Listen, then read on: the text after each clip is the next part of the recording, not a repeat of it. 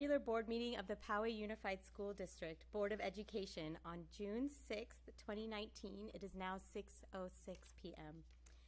This is a notice to all those in attendance. A recording and broadcast is being made at the direction of the board, and the recording or broadcast may capture images and sounds of those attending the meeting. And now we may stand for the pledge. Ready? Begin.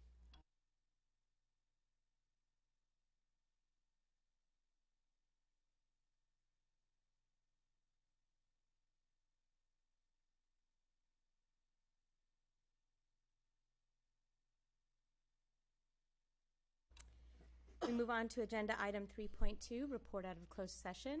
Ms. Couvret. Uh, Closed session began at 4:07, and the Board of Education took the following action in closed session. In the matter of pending existing litigation on case number 201-812-0608, on a motion by Zane and a second by O'Connor Radcliffe, the board voted to approve the final settlement.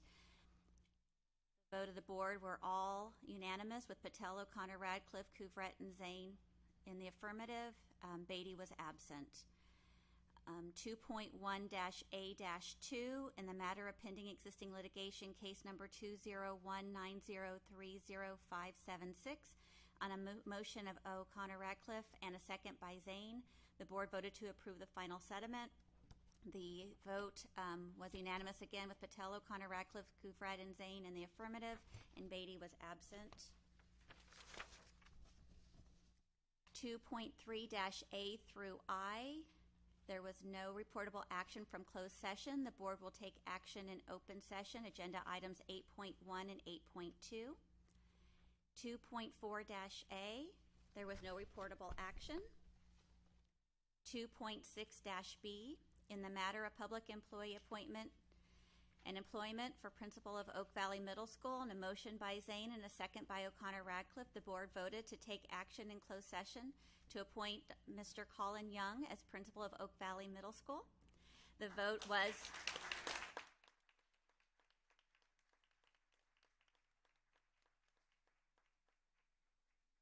And the vote was for and unanimous with Patel, O'Connor, Radcliffe, Couvret, and Zane in the affirmative, and Beatty absent. There was no other reportable action during closed session. This closed session adjourned at 5:56. At this time, I'd like to say congratulations to Mr. Young and invite him up to make a statement if he'd like. You can bring your daughter too. She looks excited. Your daughters. Yeah. You can sit on my lap. So Where's Daddy going to be working? At Oak Valley Middle School. Are you excited? Yes. Why are you excited? Because you get to run around on the grass. Because I get to run around on the grass. Thank you very much. I'm very excited. Um, I appreciated speaking with you guys today, and um, my kids are excited, and I look forward to getting to work right away. And it's a fantastic school, and I can't wait to be a part of the Falcon family. So thank you very much. I appreciate it. Congratulations, and we're excited.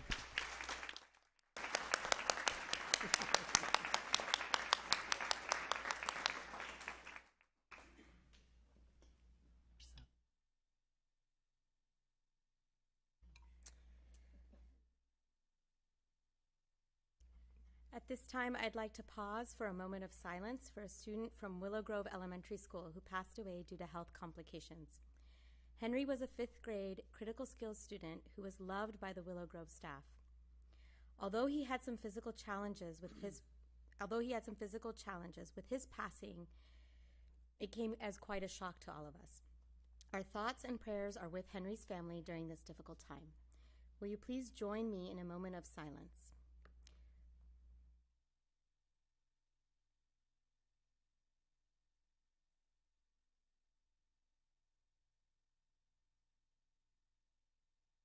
Thank you. And now looking at members in attendance, we have uh, all members in attendance except for Ms. Uh, Kimberly Beatty. And now for our welcome to the public, Mr. Schwartz. I think this is your last one. Welcome to the monthly meeting of the Board of Education.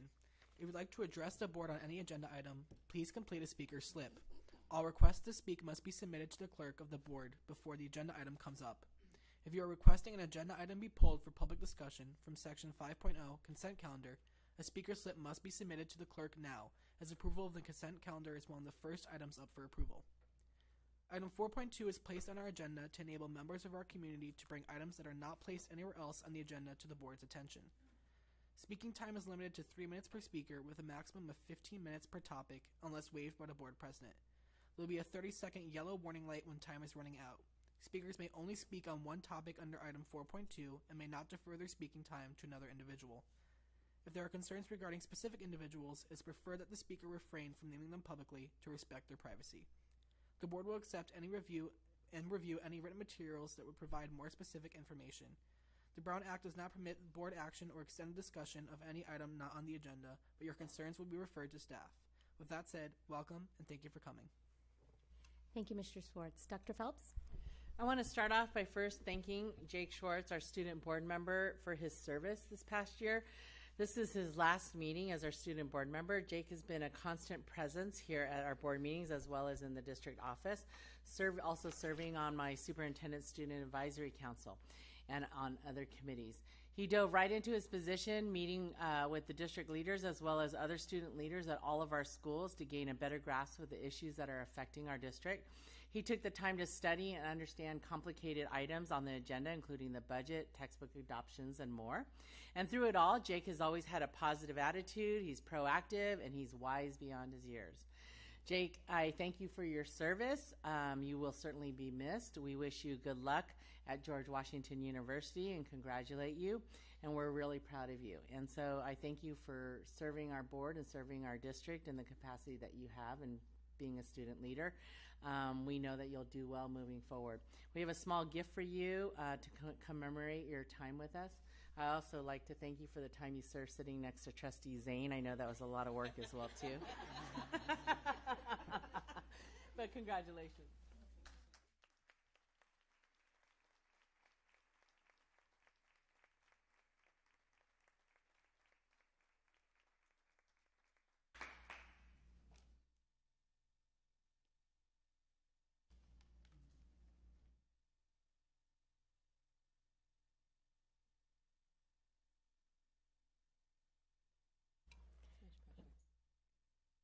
Thank you, Jake. We will miss you and hope that you stay in touch over the years. It's always nice to have student board members come back and speak to us.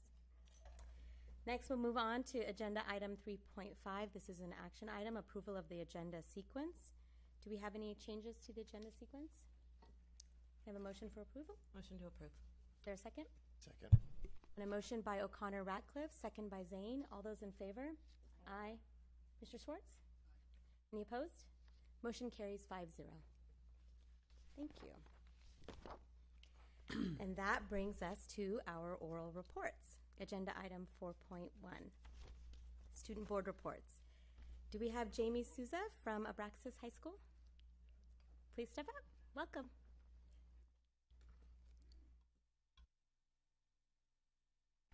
You guys look a lot more intimidating than you than you probably are. It's like a whole Congress thing. All right. Hello, and thank you for allowing me to present to the board. My name is Jamie Souza. We have two programs at Abraxas High School: the diploma program and the transition program. I'm a student in the diploma program. The transition program is for young adults 18 to 22 who learn important life skills at Abraxas and in the community. The students in their in the transition program are wrapping up another year of working on their mobility skills using MTS to learning uh, using MTS, learning to grocery shop, cooking, and working on their overall independence. The students have also worked or volunteered at a variety of job sites in the community. The transition program graduation will be held on June 13th, and 11 students have completed the program. The Leadership Club has held four blood drives, and volunteers have donated 140 units of blood, well beyond our goal of 120 units for the year. The Leadership Club has also organized the first ever Abraxas prom, which will be held at the school this Saturday evening. I'm looking forward to it. The construction program, which is available to all high school students in PUSD, is finishing up another tiny home project. 20 students are taking the pre-apprenticeship cla- or pre-apprenticeship level 1 class. Um, the students in the construction program work with students in the transition program to finish and paint smaller projects. Students from both the diploma and transition programs participate in the Abraxas Garden project. The Abraxas Garden continues to donate most of the produce to needy families in our community and has now donated over 6,000 pounds of produce to the needy. The Abraxas Garden will have its second annual fundraising event on June 15th from 9 a.m. to noon. I'd love to see some of you guys there if you have free time. And uh, that's it. Thank you for your time.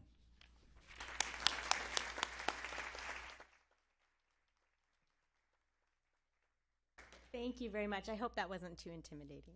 We were all right. Next, we'll have Alexis Long from Del Norte High School.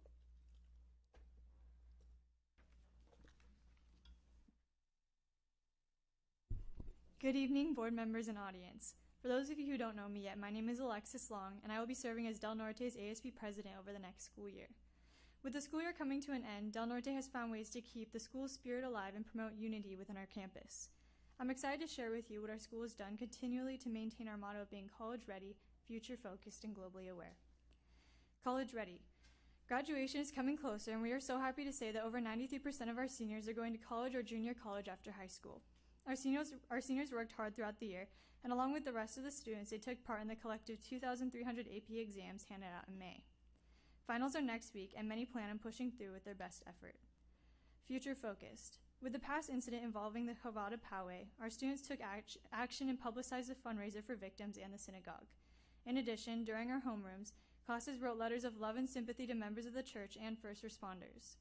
We sent around 500 letters to show that we are with them and here for anyone.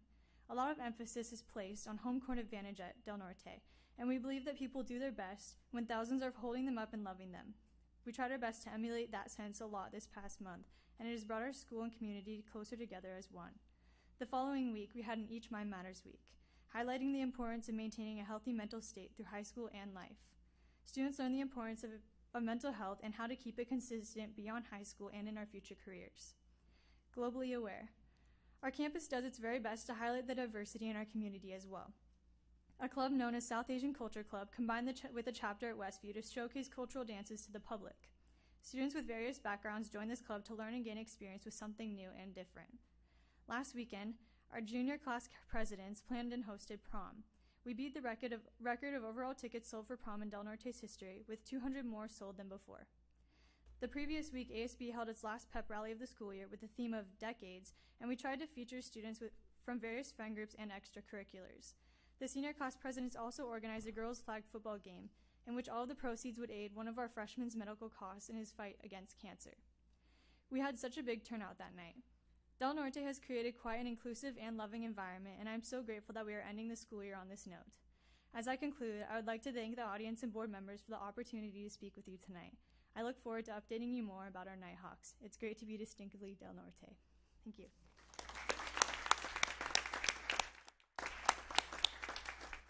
Thank you. And our last board, our student report is Tyler Vandenberg from Mount Carmel High School. Welcome.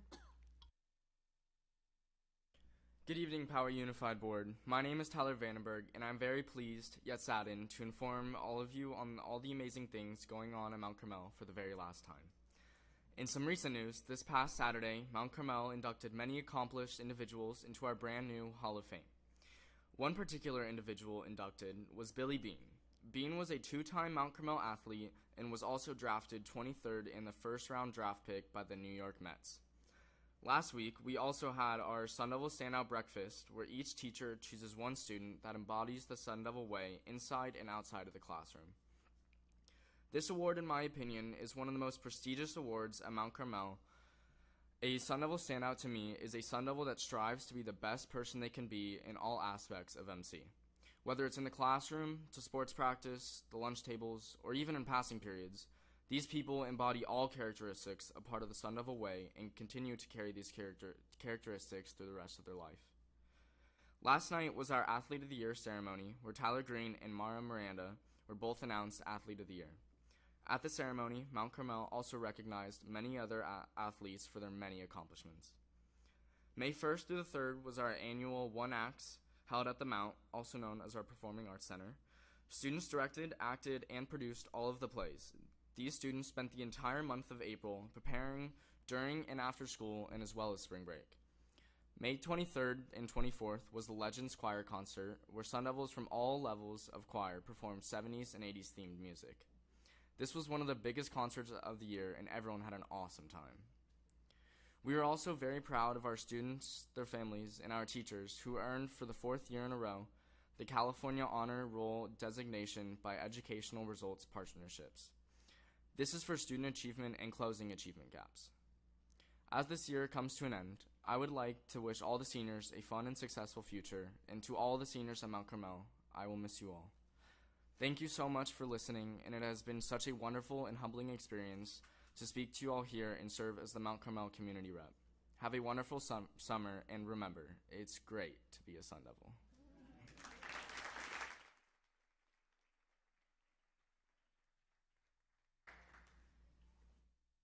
So I'm sure some of you have finals to worry about. You are welcome to leave if you don't want to stay. Otherwise, you're welcome to stay. Thank you.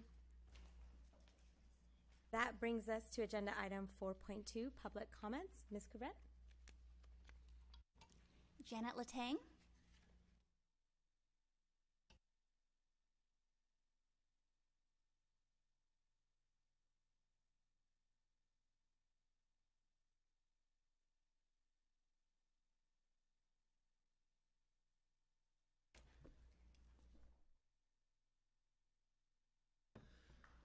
Good evening, Superintendent Kim Phelps, Superintendent's Council and Trustees.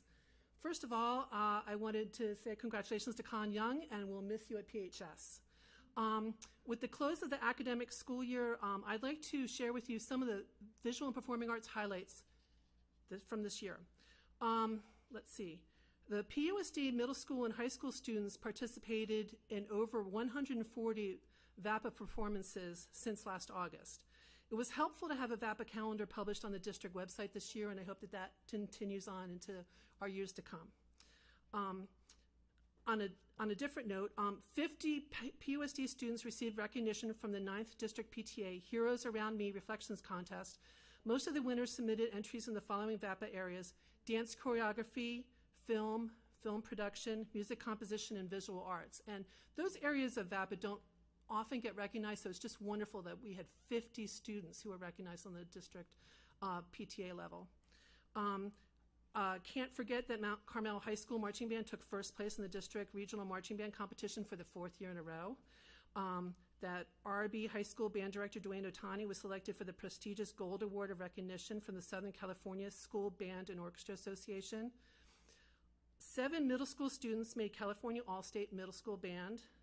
19 PUSD students were selected for All State Honor um, High School Band and Orchestra, and 13 PUSD students were selected for the 2019 California All State Choir.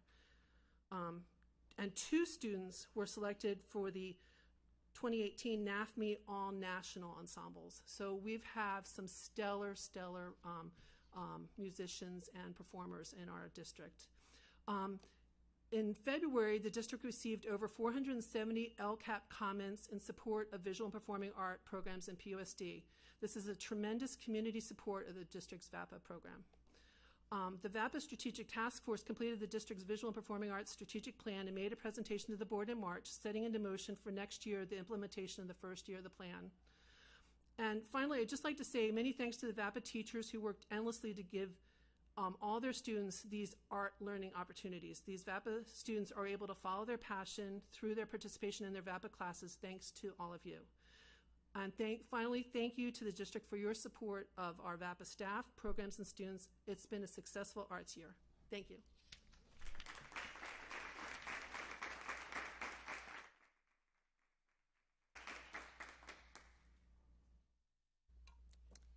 Seeing no other comments, that brings us to agenda item 4.3,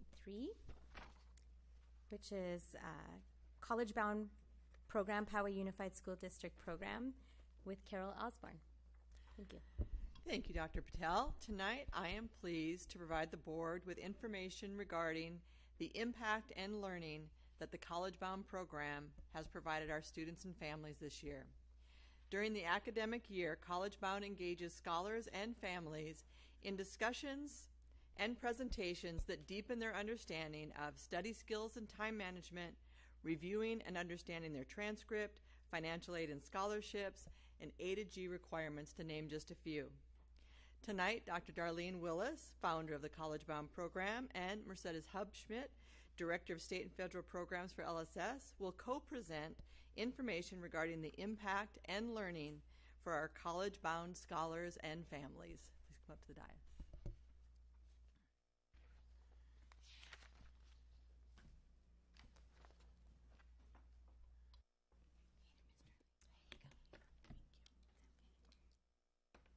Good evening.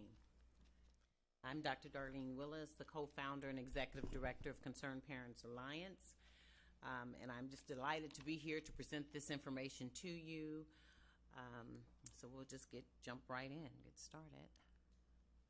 Doing this right.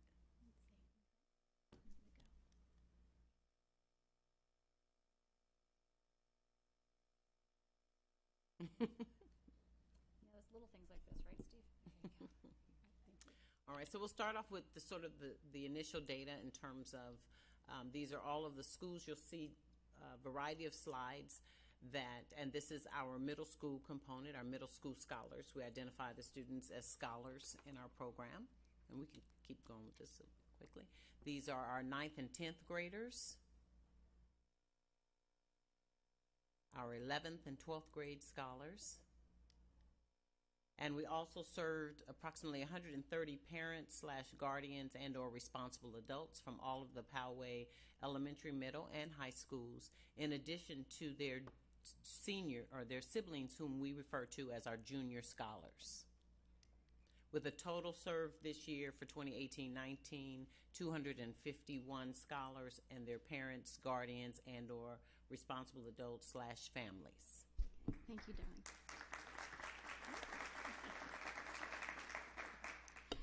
At our March 29th College Bound monthly meeting, we collected perception data from both our student scholars and their parents regarding different aspects of their college bound experience.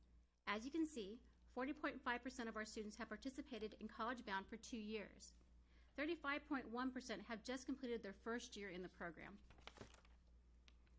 As we review the following perception data, we recognize that how our children perceive themselves as students is really important.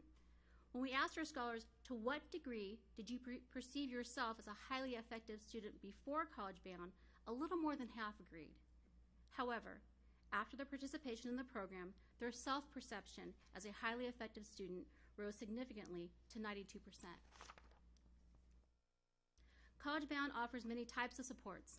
Amongst those is increasing the knowledge and awareness of our students and relevant topics to ensure their educational success. In looking at the data displayed on the slide, one can surmise some of the positive outcomes of the college bound experience.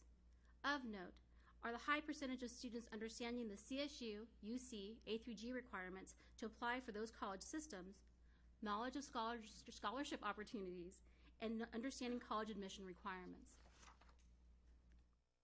The next few slides speak to the college bound parent experience. As we examine our parent data, you will note that almost 40% of parents have participated in College Bound for at least two years. Approximately 30% of our College Bound parents have participated in College Bound for four or more years.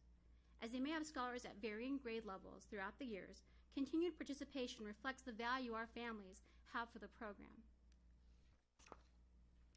As we consider the impact of College Bound for parents, 76% of our parents felt like they were engaged in their students' education before College Bound. This number increased to 100% of families feeling engaged after their college bound experience. When we asked our parents how their participation in College Bound impacted their involvement, you will note that those crucial understandings regarding scholarship opportunities, A through G, and college admissions requirements for their students reflected above 90% of feeling more involved. Accessing advanced placement courses has served as an indicator in accessing the rigor of college level coursework. As we look at our African American students district wide, comparatively, a higher number of our college bound students in grades 9 through 12 enrolled in at least one advanced placement class. And when we isolate the percentage of just seniors who took at least one AP class, you will see a significant difference in the percentage of college bound students undertaking at least one AP class compared to African American seniors overall in our district. This past year, this reflected as a 27% difference. Earlier, we shared the percentage of our students and parents who are aware and understood the A through G requirements. We see the value of this knowledge when examining the A through G completion rate of our college bound seniors. In 2017 18, the percentage of college bound seniors who completed A through G requirements was higher than our overall district percentage of 78%. As we close the 2018 19 school year, we are excited to learn of the update for this metric. Attendance at monthly college bound meetings is important in order to access the support. This year, you will see that the attendance of our college bound evenings has increased from 10%, well, increased 10% from last year. Through College Bound's targeted work with seniors, 100% of our seniors took either the SAT or ACT in preparation for their college application season. And finally, we recognize the cost of financing a college education, whether through grants, scholarships, or loans. To that end, we are excited to share that 100% of our college bound seniors completed the free application for federal student aid, an important step in securing funding for our post secondary education. And so this slide indicates the uh, graduating class of 2019. Um, these are the universities that they applied to. Some are not on there, but these are majority of them in which they applied and were accepted. And then the next slide actually gives you the breakdown of our 12 senior scholars and the universities that they are attending. The two that are attending the community college actually chose to attend the community college due to athletics. And our guest speakers, as you can see, uh, the superintendent, along with the associate superintendent Carol Osborne, trustees Patel, Couvret, O'Connor Ratcliffe, and principals were at our finale program, which was amazing, where we highlighted our year as well. UCSD, once again, as one of our partners, um, helped with financial aid workshop, and then we went into detail uh, about the, how, from a parent's perspective, that they can secure funding, obtain it. Transcript review with our very own Mercedes. Um, there was a PUSD climate check-in with the Associate Superintendent Carol Osborne. Uh, President Ricky Shabazz from San Diego City College was a keynote speaker and actually invited us to his campus, and we went and attended his campus. And then there was a school board candidate forum as well. And these, um, I wanted to stop here for a moment because we every year acknowledge VIPs, and these are PUSD staff um, that have made a difference, whether that's a teacher, a counselor, a principal, a, a district level, or in, in the school sites that have made a difference in our scholars' lives. And these are just the ones that were acknowledged that evening, but we have three that were not able to be there. And I just would like to acknowledge them. They are here today, and I just want them to come forward because, and this is personal to me, because Los Penasquitos Elementary School, to me, in my opinion, is one of the one of the best kept secrets in this district. And they, uh, yeah, they're saying, shh, don't say it, right? Um, and they are led by an amazing principal who goes over and beyond. And those of you know, we are raising our great uh, nephews that are here tonight, Matthew and Robert. And so in this process, the scholars had to nominate who made that difference. And so if Ms. McLaughlin would please come forward, who is the principal, the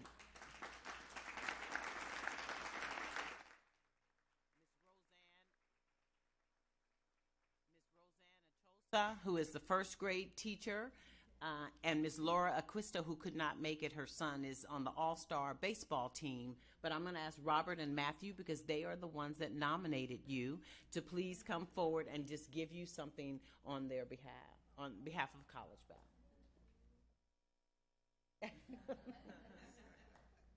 How about a hug or something, Rob? Matthew? Matthew is graduate is being promoted.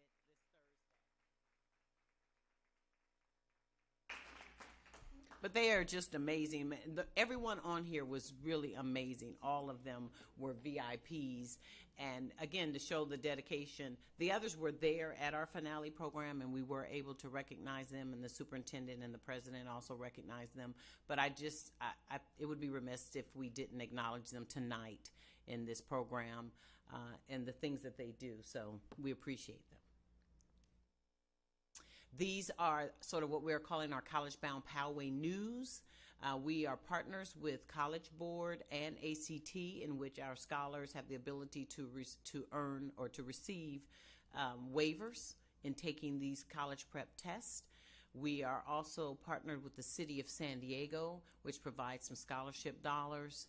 Academic excellence is our priority, and another partner is San Diego Gas and Electric, the Sempra Energy utility.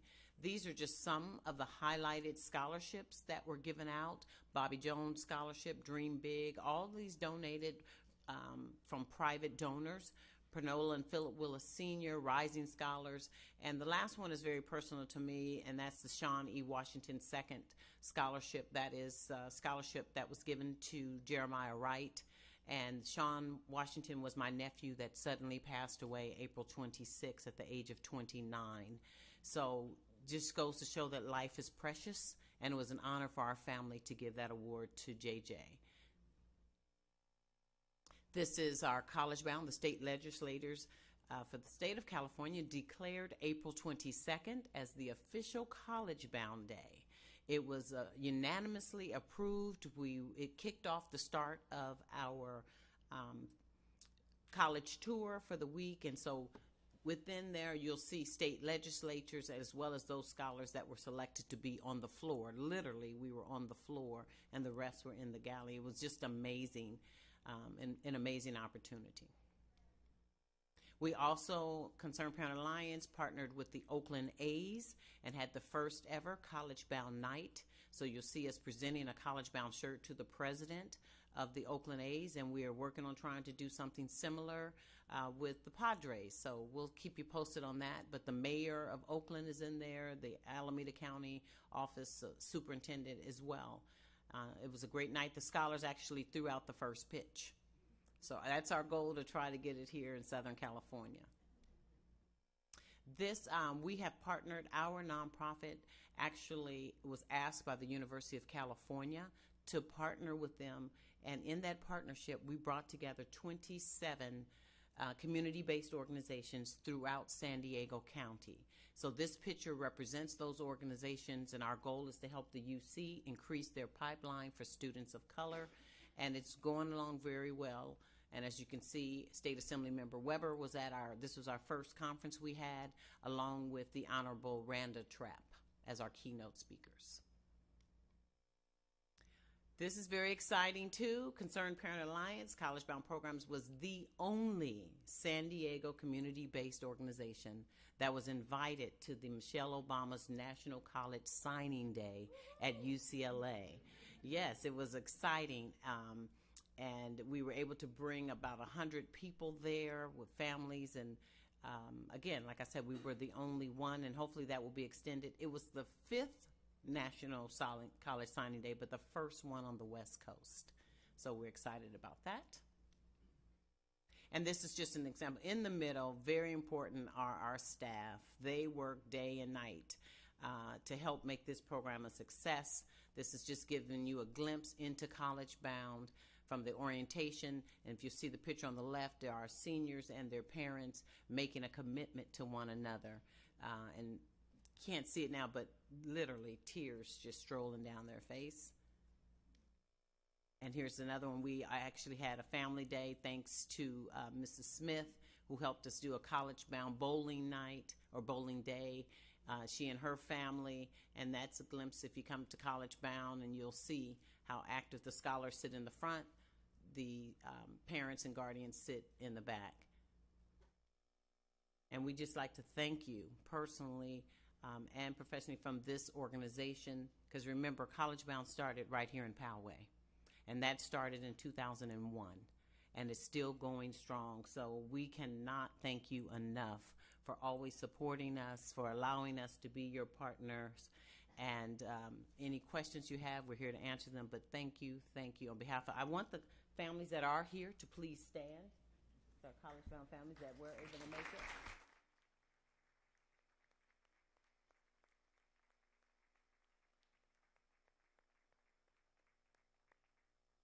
And they're just as excited as I am. And I always I'll leave this uh, on our this is our college bound motto as well as our affirmation that says I believe in myself. I love myself. I am the most important person in the world. I can think for myself, so no one will have to tell me what to think. Success will not come to me. I will have to go and get it. I believe in treating people the way I want to be treated because I know that I know that I know that I am college bound. Thank you very much. We appreciate you.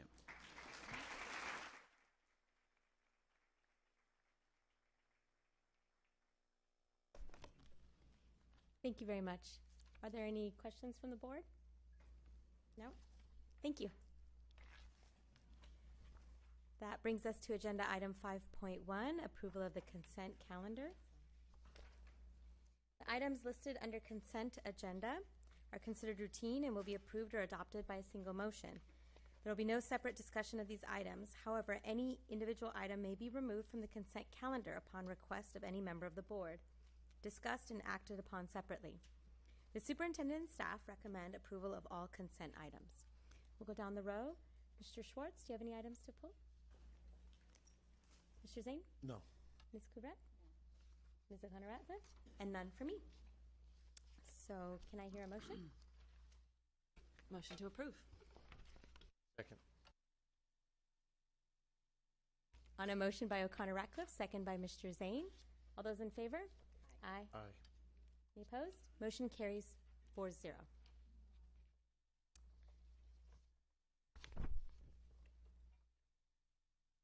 One second.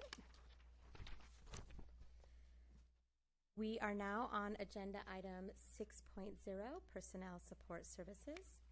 The first item is agenda item 6.1 Approval of California School Boards Association CSBA Board Policies 4000 Series. Mr. Jimenez. Thank you, President Patel. At the May 9th board meeting, the board was presented and received several board policies within the 4000 series for first reading and review. These policies are aligned with those of the California School Boards Association, and these policies have also been reviewed by staff. Uh, the board is asked to approve the policies at this evening's board meeting. Thank you. Are there any questions? Is there a motion? Motion to approve. Second. On a motion by Mr. Zane, second by Ms. O'Connor Ratcliff. All those in favor? Aye. Any opposed? Oh, sorry, Mr. Schwartz? Motion carries 5 0. Action item 6.2 Approval of resolution number 71 2019 entitled Resolution Regarding the Elimination of Classified Positions as contained within Exhibit A, corresponding layoff of classified employees. Mr. Jimenez. Thank you, President Patel. This item calls for the board action to reduce the hours of two crossing guard positions at Meadowbrook Middle School and to eliminate one physical education instructional aid position at Creekside Elementary due to either lack of work or lack of funds. Uh, based on concerns that were raised by our uh, classified organization, PSEA, pertaining to position number two, which we want to address, staff recommends this evening that the board adopt the resolution but that the motion state that the resolution be adopted with position number two deleted from Exhibit A. Thank you. Are there any questions? Is there a motion? Motion to approve as recommended. Do we have a second? Second. On a motion by Mr. Zane, second by Ms. O'Connor Ratcliff. All those in favor? Aye. Any opposed? Motion carries as modified. Thank Four you. zero. Thank you. We are now on agenda item 7.0, business support services. Item number 7.1 is a public hearing, and at this time, I'd like to convene the public hearing at 6:45. And we have a public hearing of 2019-2020 proposed budget. This is a first reading. Are there any comments on this item? Public comments? No? Mr. Little, you may proceed. Yes, thank you, Dr. Patel. Good evening, board members, community members, uh, staff, and community members. Uh, this evening, we share for the board's consideration uh, the first reading of our district's proposed 1920 budget for next year. Uh, I'd like to thank the finance team, uh, Ms. Ramiro and her team, for all the hard work they've put into this. This is the agenda that we'll look at briefly this evening. As the, I'm not going to read this whole quote for you. Uh, I know you're disappointed. But as the nation experiences the longest economic expansion in history, and as the global economic landscape slows to its lowest pace in three years, with trade volatility on the horizon, Governor Newsom's May revise is both prudent and optimistic. Prudent in the sense that he continues the prior governor's practice of contributing significantly to the rainy day fund, which will be instrumental in weathering the next economic downturn when it comes, and optimistic in that his budget for California is predicated on the state's continued, albeit slower, economic growth. The brief uh, LAO quote here basically uh, argues that although the tax receipt revenues uh, have, although they've outpaced uh, projections uh, that were in the governor's January proposal by a little over $3 billion, given the constraints by, of the uh, state constitution and other factors, there's little available for any new additional commitments on the part of the governor, which is why the May revise really was not much different than what we saw in his January's budget proposal. So, as I mentioned, the district's finance team has worked hard to build a conservative yet realistic 2019 budget for Poway Unified based on the governor's May revise and our own local fiscal realities. You'll note uh, the, the bullet points here. We're looking at 100% LCFF funding uh, under the governor's proposal. We're looking at a slightly reduced COLA of 3.26%, uh, down slightly from his January proposal. Uh, significant one-time funds uh, to help offset or mitigate some of the STRS employer contribution costs, uh, as well as some new ongoing special education funding uh, which unfortunately, given its restrictions, we would not benefit from. You can see the UPP requirements, which we don't meet, uh, although we'll find out later that our special enrollment does exceed uh, the requirement. Uh, just as a side note, uh, the, his special ed proposal, of course, has been rejected uh, by both the, the Assembly and the Senate in the state. So they're still working around the special ed funding and figuring out uh, how to solve it by the time they bring the budget trailer bill to the governor for his signature on June 11th. As you also know, the governor's May revise is but a proposal.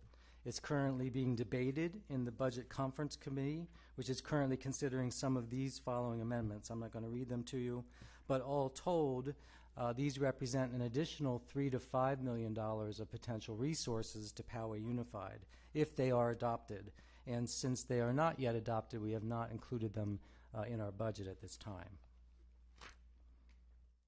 Similarly, here is another list of additional legislation currently being considered that could also impact next year's budget and future budgets, particularly around Prop 98 funding uh, and available resources to Poway Unified. These two have not been included uh, in the proposed budget that we're going to review this evening. I, I should also mention that uh, the detail of the budget is in our multi-year projection, 11-page uh, document uh, that the board has and the public has access to. Uh, the next few slides are just going to summarize what's in that report. Enrollment drives funding, as we know, and this graph is just to show the stable enrollment growth that Poway Unified has enjoyed over the past decade. Since 2010-11, our enrollment has increased nearly 7%, or a little less than 1% per year. However, that growth has slowed recently, and in fact was slightly negative. You can see this year, uh, it's two tenths of 1% negative this year. So we are using conservative estimates for next year's budget, 0.35% growth, as well as the subsequent two years. Similarly, uh, or compared to the 7% of total enrollment growth, since 2010, our special ed population of students has increased by nearly 37% over the same period, and as such has become a larger share of our total count of students. This has obvious implications to the expense side of our budget. In 2010 11, our special ed students totaled 10% of our total enrollment. Last year, our special ed population comprised 12.6% of our total enrollment. Next year, we project, I'm sorry, this year it's at 13.1%, and next year uh, we're projecting a slight increase to 13.2%. Correspondingly, uh, we anticipate our special ed budget going from $63 million this year to $68.3 million next year. Other fiscal assumptions uh, that we're used to seeing, again, step and column costs, our STRS costs, our PERS costs, our annual increases in health and welfare costs for our employees, as well as a significant increase in our property and liability insurance premiums. In total, these account for approximately $8.3 million of increased expenditures in the proposed budget. In response to the board budget workshop that we held in January, uh, staff proposes reducing the 2019-2020 budget by about $2.5 million next year in the areas of RTI, budget standards, aquatics, as well as specific cabinet recommended departmental reductions. Here are also what has been added to budget utilizing primarily increased revenues in the case of the increase of custodial supplies. We're using the facilities use revenues to offset uh, the extra money that we're giving to sites. Uh, grant funds, which in part are going to uh, fund the increased counseling at the high schools, and capital lease funds for our computer modernization program. This is obviously a big picture of our revenues. Our projected general revenues for 2019 20 are just shy of $400 million, broken out as you can see in the pie chart. And I might just note that these numbers are not going to jive exactly with what you'll see on the LCAP because there's lots of different ways to slice the pie, uh, and we're slicing it slightly different, although it's very close uh, to how uh, the LCAP team has sliced it. Our projected 2019-2020 expenditures are just shy of $411 million. Again, broken out as such. This slide is a quick snapshot at the year-over-year comparison of our budget revenues. Overall, fairly flat. So you can see uh, a 3.8% increase in local control funding formula funds. That's from COLA and growth primarily. Federal revenues are down about 11%, 12%. That's primarily due to deferred revenues uh, that we had in the past year. Uh, other state revenues, you'll recall we got a lot of one time money this year, so we'll get less next year. Local revenues pretty flat. Transfers in reflect a capital lease that we're anticipating to buy the computers and some copper equipment. So again, pretty flat, slightly negative, two tenths of 1% on the revenue side. On the expenditure side, Again, a year over year comparison. Salaries uh, remain fairly flat. Uh, books and supplies down primarily because we've been spending carryover this year. Same with services and operating expenses, and also with capital outlay. So expenditures are projected to increase slightly by about 1.2% uh, in our proposed budget. Given the governor's May revised proposal on our other fiscal assumptions that we just reviewed, we project that general fund expenditures will outpace revenues next year by approximately $10.9 million.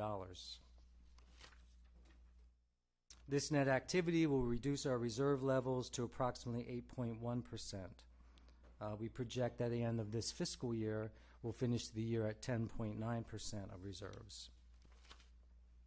The reserves are broken out uh, as follows. I won't go through these. Uh, these are this is what we project our ending fund balance to be for the general fund at the end of 2019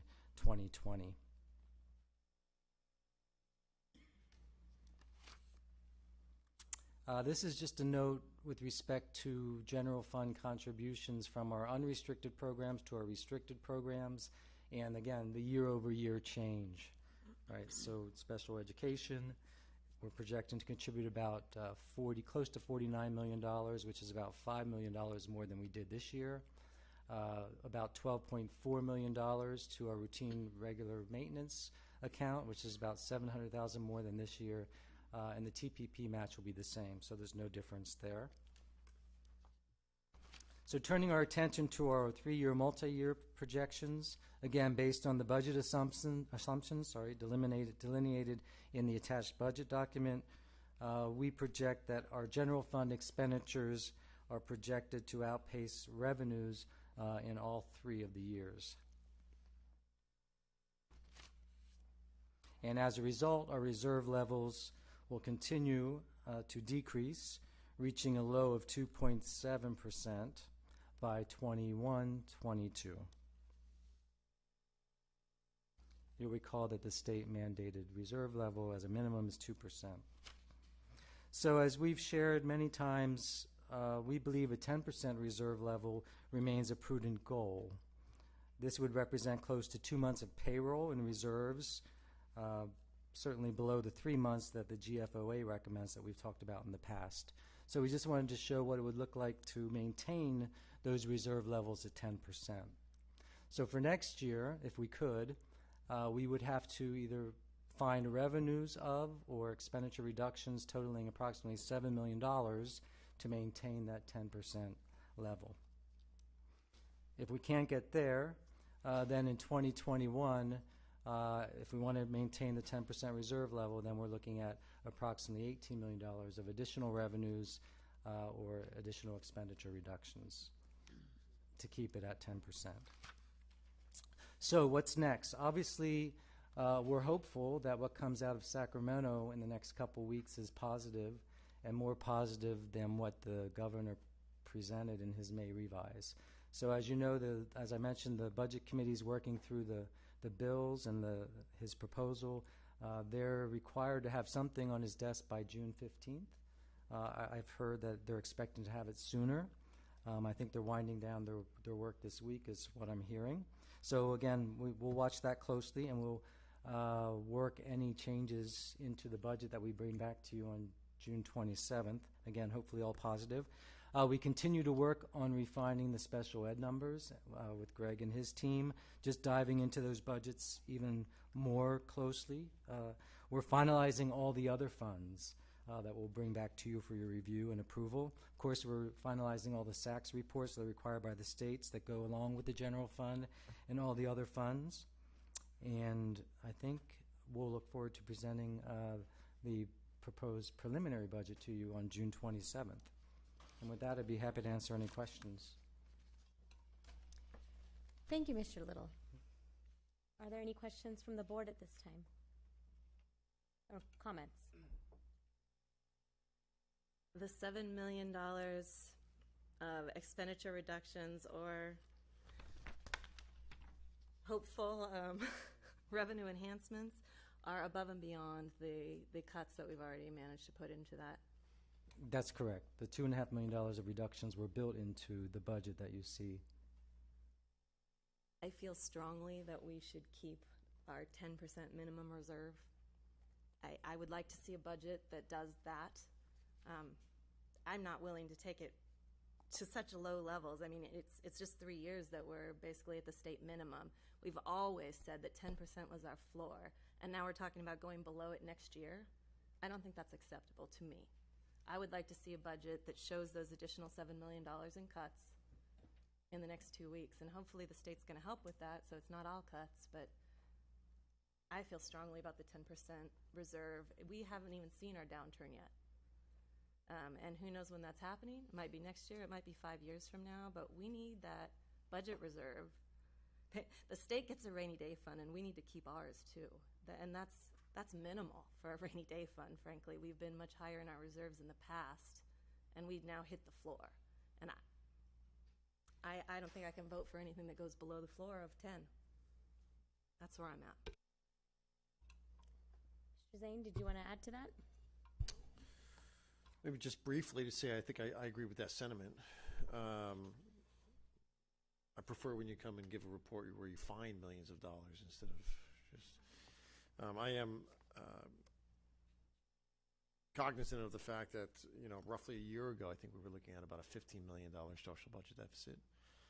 Uh, Eleven million is better than fifteen, but it's still not good enough, right? I mean, it, um, at fifteen million, we would eat through our reserve a lot faster than at uh, eleven million a year.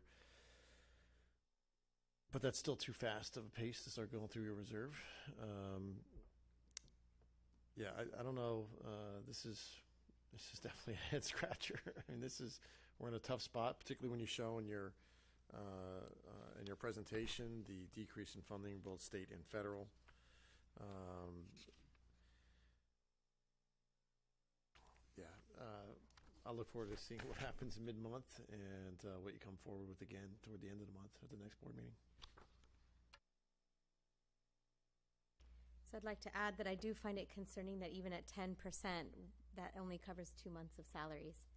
So that's kind of a dangerous place to put ourselves in. And I commend the work of the staff to even get $2.2 million in cuts. So that's, that's a good start. I, I think we need to do a little bit better. I am hopeful always that the state and maybe federal government will throw money our way, but um, the, there's so many bills out there and so many con- competing, conflicting bills, so many budget priorities in the state of California. I would hate to rely on those hopes to set our budget. So please continue the work. I would agree with my colleagues here that that return to the drawing board, please, and and continue to look for ways. I'd like it to be strategic and clinical rather than getting to the point where we're saying, oh, let's just cut 10% off of everybody. Um, arbitrary cuts like that are harder to swallow. I think they're not strategic, they're not effective, efficient. So maybe there's a way we can look at more strategic places to cut a little more. Thank you. I feel like we've we're all saying we're all saying something similar, but I think it's important that we give a more concrete directive here, and I would like that directive to be that for that budget that comes back to us in two weeks, that it show a minimum of a ten percent reserve. Is the board comfortable with that? Well, let me let me ask. Uh, historically speaking, uh, from what you can tell, what has been the district's uh, highest reserve level? The highest is a little over 21%. Um, that was about, I want to say, that was pre recession, right, Joy? Yeah, I think that was pre recession. And I'd note that that's how we came through that recession Mm-hmm. relatively unscathed compared to other districts. We didn't have layoffs, for instance. Yeah. Well, I, I think it's probably doable at this point to get to a 10% reserve uh, level. I think it's much more difficult to get to a zero net activity. So, uh, just that's the caveat from my seat for this evening. But uh, I think a 10% reserve level is probably achievable. I understand that. Actually, appreciate that. Uh, I'm under no illusion that I think in a single budgetary year we're going to eliminate our 11 million dollar structural budget deficit. Uh, but if we have the ability to somehow get to the 10%, I think that ought to be the objective. And I think that 2021, if we do nothing, we'd have to find 18 the year after. That's going to be Just makes it harder. impossibly Yeah, painful. Exactly. Seven's going to hurt, but 18. Hurt a lot more. Am I seeing that we have consensus to give that direction? Okay, did you catch that, everybody? Okay, thank you. I understand. I appreciate your Thank you. support. Thank you.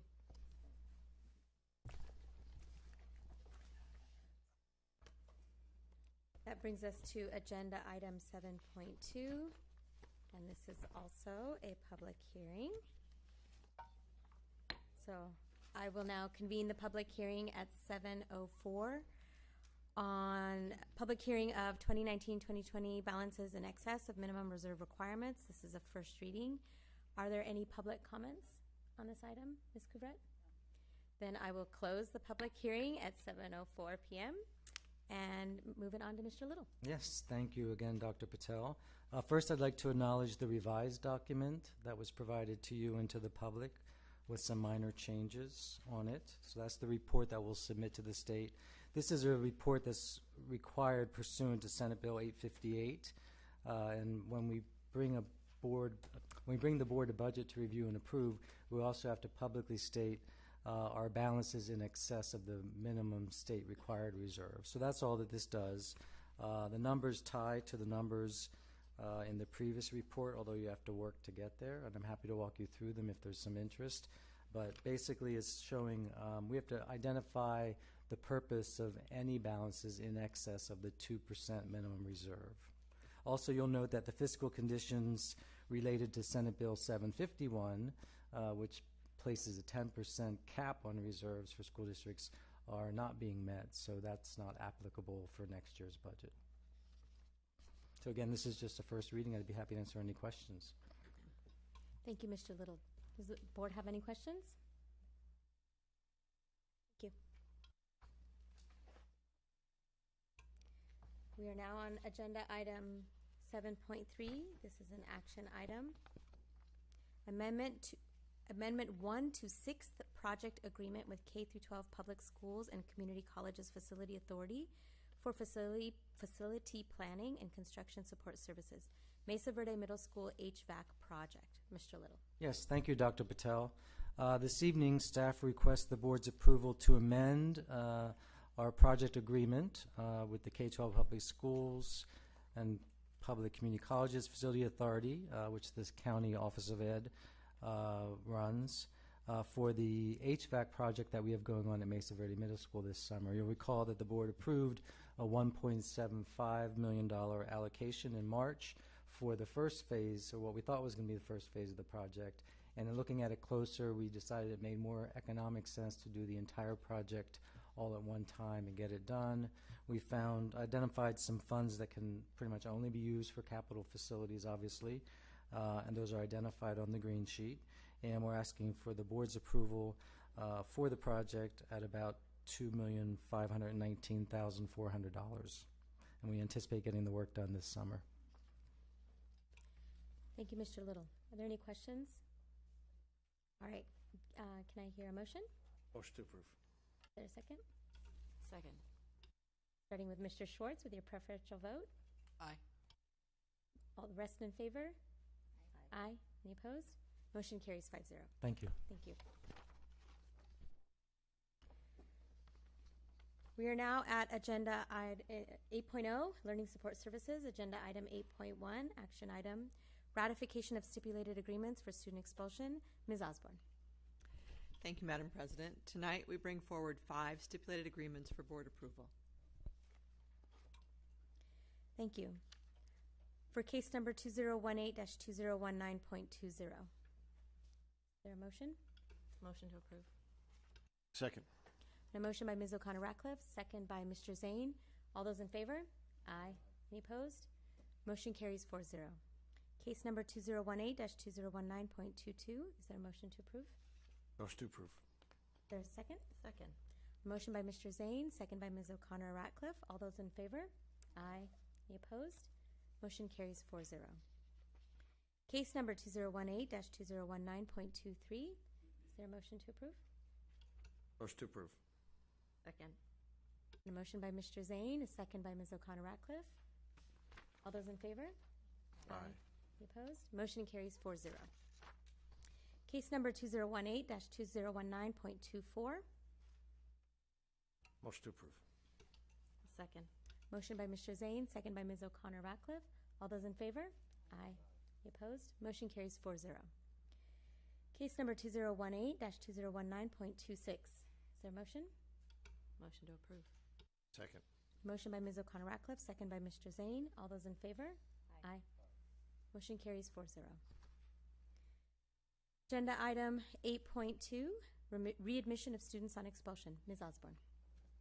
Thank you, Dr. Patel. Tonight, we bring forward three readmissions of students on expulsion. All of these students have met the conditions of their contracts to be eligible for readmission or have met their graduation requirements. Thank you, Ms. Osborne. Case number 2018 2019.03. Motion to approve. Second. Motion by Ms. O'Connor Ratcliff, second by Mr. Zane. All those in favor? Aye. Motion carries 4 0.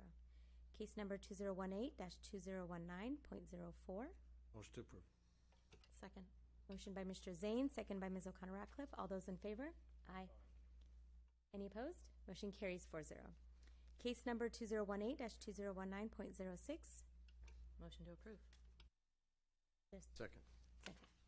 Second. And a motion by Ms. O'Connor Ratcliff, second by Mr. Zane. All those in favor? Aye. Any opposed? Motion carries 4 0. Case number 2018 2019.12. Motion to approve. Second. A motion by Mr. Zane, second by Ms. O'Connor Ratcliff. All those in favor? Aye. Any opposed? Motion carries 4 0. We're now on agenda item 8.3. This is a public hearing. I'd like to convene the public hearing at 8:10. A public hearing of Poway, Uni- Poway Unified School District Local Control and Accountability Plan (LCAP) for 2019-2020. This is a first reading. Were there any public? Oh, 7:10. Sorry, 7:10. And we do have a public comment. Ms. Couvret? Janet Latang. No, you're supposed to go before. Public hearing happens before.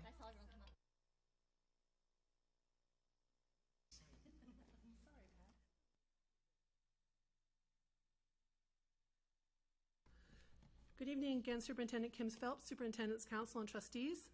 Um, this year's current LCAP draft is approximately 250 pages of hard work and information for our PUSD employees and community.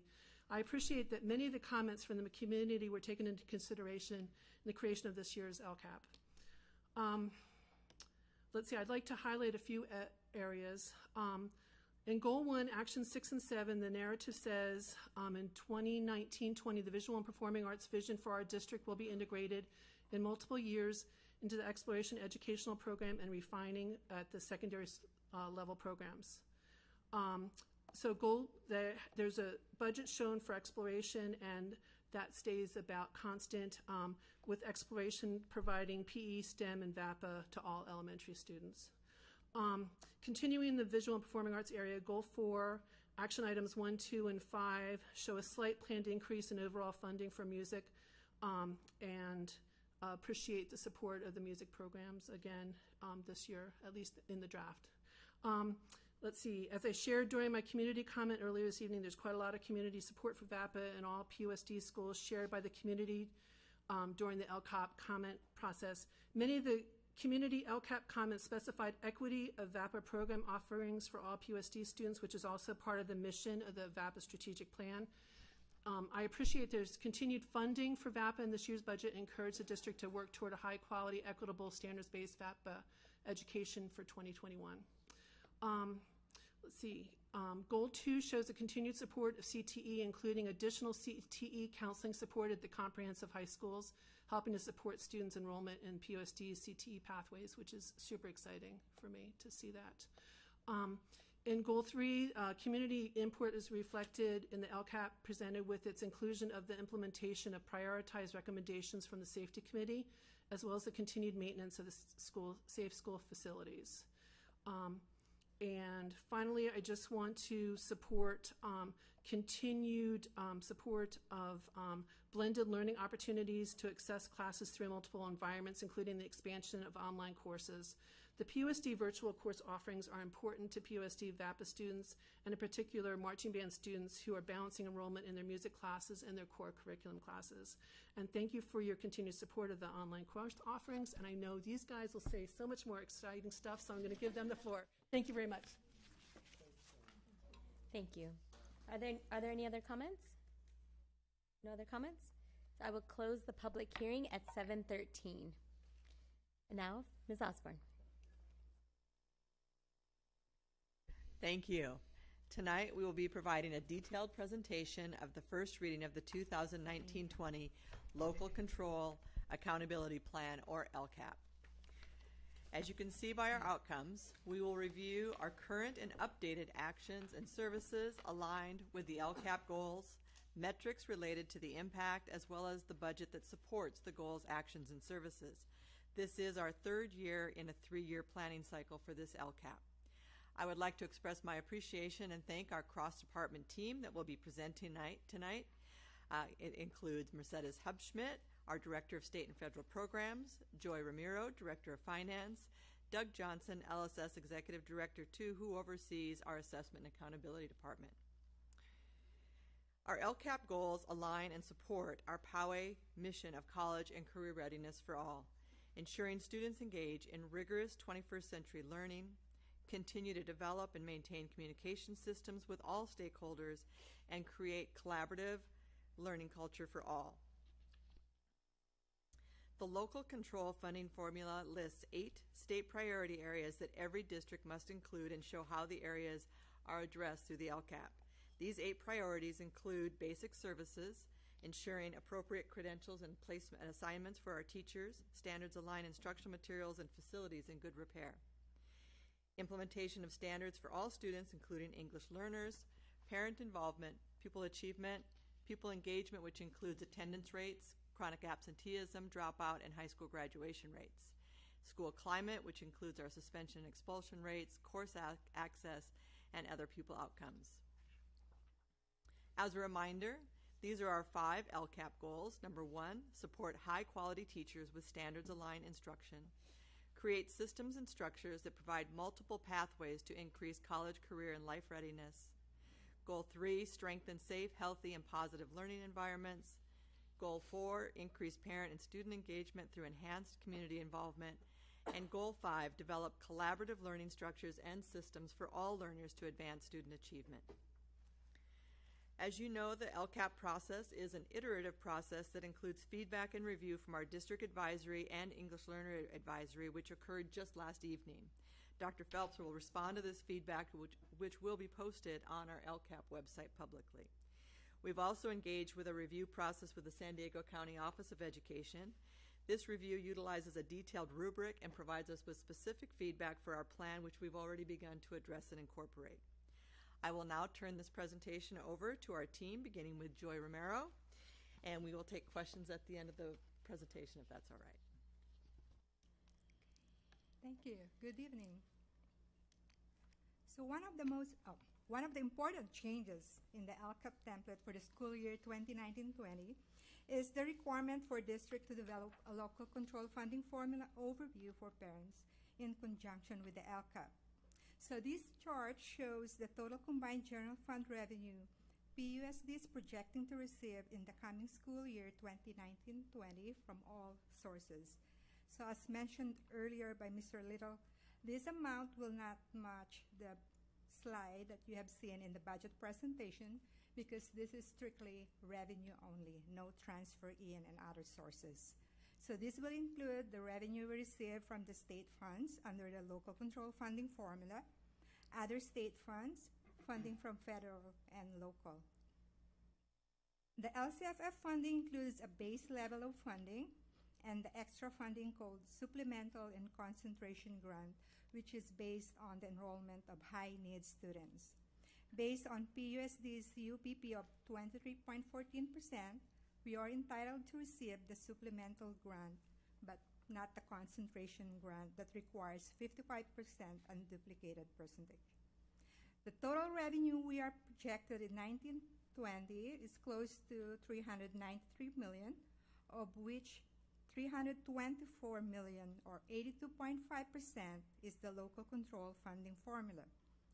Of the 324 million, 310 is the base grant, 310 million is the base grant, and 14 million is the supplemental grant, again generated based on the district's unduplicated students. The 45 million of the projected revenue is the other state funds. This will include the funding we receive for special ed program, mental health, mandate block grant, and lottery. We are projecting 10 million to receive from federal funds to, for impact aid Title I, Title II, Title III, special ed IDEA, and all other federal programs. Also included in our projected revenue is 13.2 million of local revenue for interests from county treasury, funding for ACES program, revenues from transportation fees, use of facilities, and all the donations that we are projecting to receive. PUSD continues to implement the district's strategic plan towards improving student outcomes while maintaining fiscal responsibility. This slide is to briefly describe the budget in the combined general fund expenditures for the LCAP year 2019-20. The district's total proposed expenditures in the general fund combined is 409 million. Again, this will not match the slide that you have seen in the budget presentation. This, not, this will not include the transfer out. So this is strictly expenditures only. 375 million or 92% of the total combined general fund budget will be directed towards meeting the LCAP goals, but not all are tied or linked to the actions and services of the district's LCAP. Of this amount, 350 million, the green bar, is to cover the cost of the general operation of the district. This includes salaries and benefits of our qualified teachers and all of the support staff, funding for textbooks, our curriculum software licenses, instructional materials, etc. 24.5 million of the projected expenditure budget is allocated to routine restricted maintenance and repairs, deferred maintenance, grounds and custodial services, and to fund the implementation of the guidepost recommendation for site safety. The remaining 34 million of the budget is for other operating expenses like utilities, insurance costs, capital payments, and all other operating expenses. The local control funding formula gives school district more flexibility in deciding how to use the state funds. In exchange, school district must work with parents, educators, students, and the community to develop a local control and accountability plan that shows how we will use the LCFF funding to serve our students.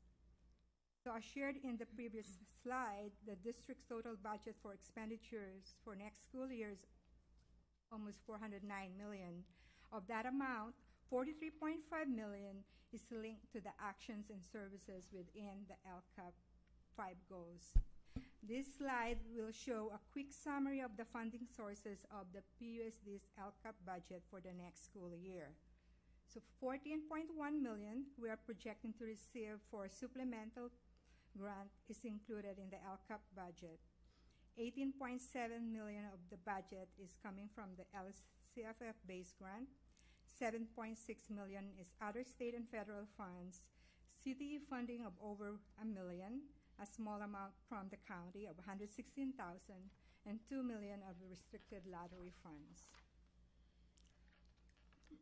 Also included in the new LCAP template for 2019-20 is for district to provide an overview of the current year LCAP expenditures. So this chart will compare the PUSD budgeted 2018-19 LCAP versus what we are estimating our actuals will be. So last year we presented a, pro- a proposed LCAP budget of 42 million, and we are estimating the actual expenditures will be 40 million. The difference between what we budgeted and the estimated actuals will be carried over in the next school year. As far as actions and services that contribute to increasing or improving services for our high need students, the unduplicated students, the difference between what we budgeted of 12,966,000, which is the blue bar, and the estimated actuals of 12,904, which is the green bar, is around 62,000. This amount has no impact to the actions and services provided to improve the services given to high need students in our district. So now let me turn it over to Director of Learning Support, Mercedes Hubschmidt. Mm, thank you, Joy. We're pleased to be able to share with you a brief overview of our current 2018-19 work through our LCAP and the proposed 2019-20 actions and services with associated budgets. As we begin with goal one of supporting our high quality teachers as they implement standards based curriculum, instruction, and assessment, please note on the left hand side of the slide, you will see this year's actions and services. Those actions and services continue into 2019 20. On the right are the new proposed 2019 20 actions and services moving forward. As you can see, we, can con- we continue to focus our alignment of academic and performance standards to the California state standards in those content areas listed on the left. You will note the addition of math support classes, upper level math, and beginning history social science in the coming school year. We will continue to support our new hires with training and coaching. Given last year's SERP, we will maintain the level of funding for our Poway Professional Assistance Program, PPAP, established last year, meeting the goal of supporting high quality teachers throughout our district. Three years ago, we initiated important work with response to intervention and instruction, teachers on special assignment. As you know, intervention is ongoing, supporting the needs of our students both academically and social emotionally, as well as the support of our teachers and staff who work with our students. Our site level RTI professional learning leaders and TOSAs have met many times throughout the school year, building the efficacy as they receive training in effective strategies such as restorative practices and Tier 2 behavioral interventions. Moving forward, the next phase of our intervention model will shift to three K through 12 intervention TOSAs, who will focus on building capacity of all staff, support professional learning, and a deep understanding of strong first teaching. We continue to work toward ensuring that our students access those essential supports needed for wellness and success as we move to multi tiered systems of support. Our exploration program has increased collaboration time for teachers, providing time to discuss interventions and strategies for our students, not at grade level, while continuing the opportunity for enhanced instruction, including that of units of study in the visual and performing arts. Now, Mr. Doug Johnson will show metrics associated with this goal. Good evening. In uh, support of Goal 1, it is important to review our California School Dashboard results as previously shared at a December board meeting.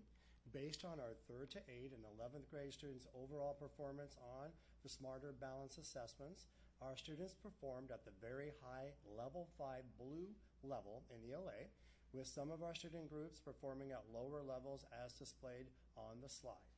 Our African American and students with disability student group performance declined, while our Hispanic stu- student group maintained their performance.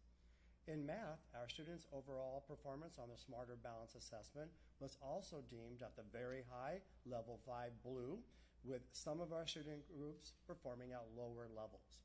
Our African American and students with disability student groups declined in their performance, while our Hispanic students maintained and our homeless and socioeconomically disadvantaged students increased their performance.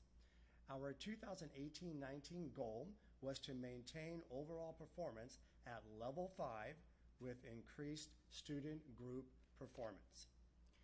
For our 11th grade students, their performance on the Smarter Balance assessment served as an indicator of readiness for college level coursework in English language arts and mathematics.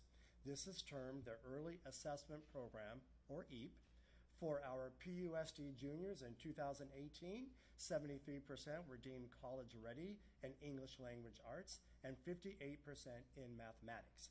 These percentages note a decline from the previous year's students' performance. Our 2018 19 goal was to see a 2% increase in both disciplines.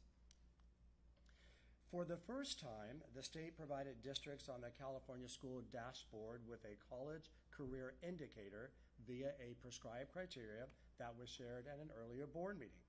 PUSD students performed at the very high level 5 blue. This represented an increase of 0.7%. Our English learners, Hispanic, and socioeconomically disadvantaged student groups increased, increased their performance from the previous year. Our African American performance maintained, while our students with disabilities and homeless declined. The following data was shared at an earlier board meeting as well. PUSD was reported to have a slight increase in the number of students in both ELA and math performing at the MET or exceed standards levels. Our 2018 19 goal was to increase overall student performance in ELA by 4% and mathematics by 2%. We continue to monitor our student group performance and align instructional approaches to meet the needs of all our students.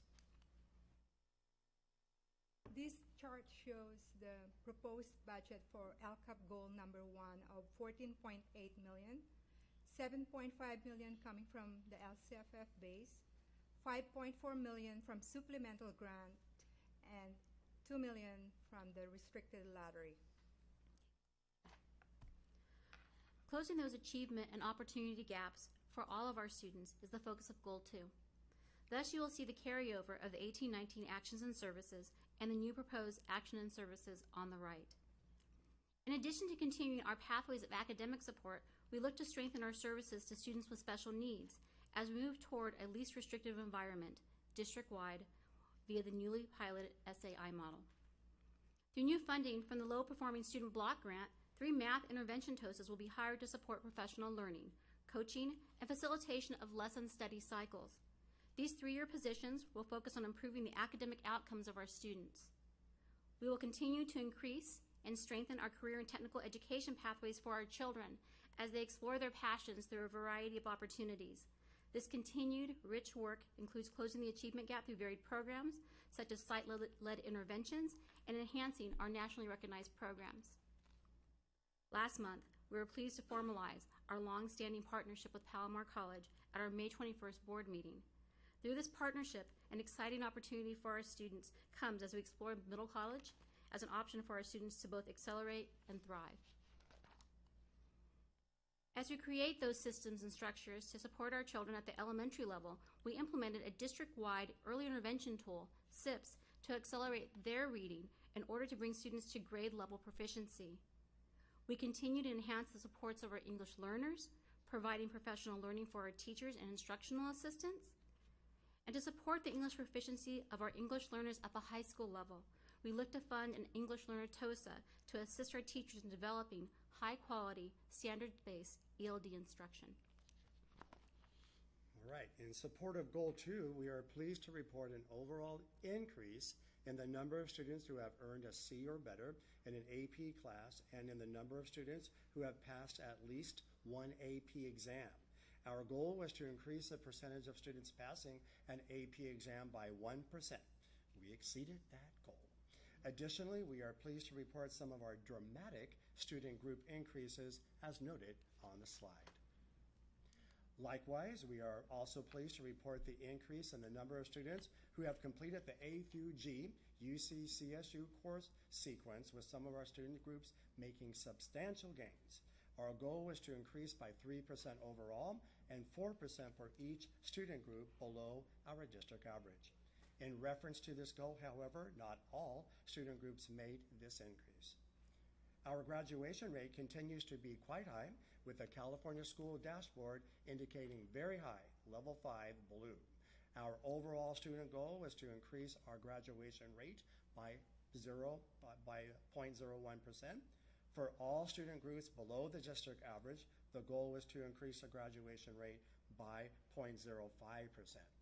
All groups met this criteria except our African American student group, which reported a slight decrease of 0.2%. Our English learner progress on the California School Dashboard was presented as status only as our state has transitioned to a new assessment, the English Language Proficiency Assessment for California, ELPAC. The data presented on this slide represent our baseline information 83% of our students performed at the three or four level, compared to 65% of English learners in the state of California. PUSD continues to focus on providing our students with career technical education, CTE pathways. However, this past year, we did see an overall pathways completion rate decrease by 7%.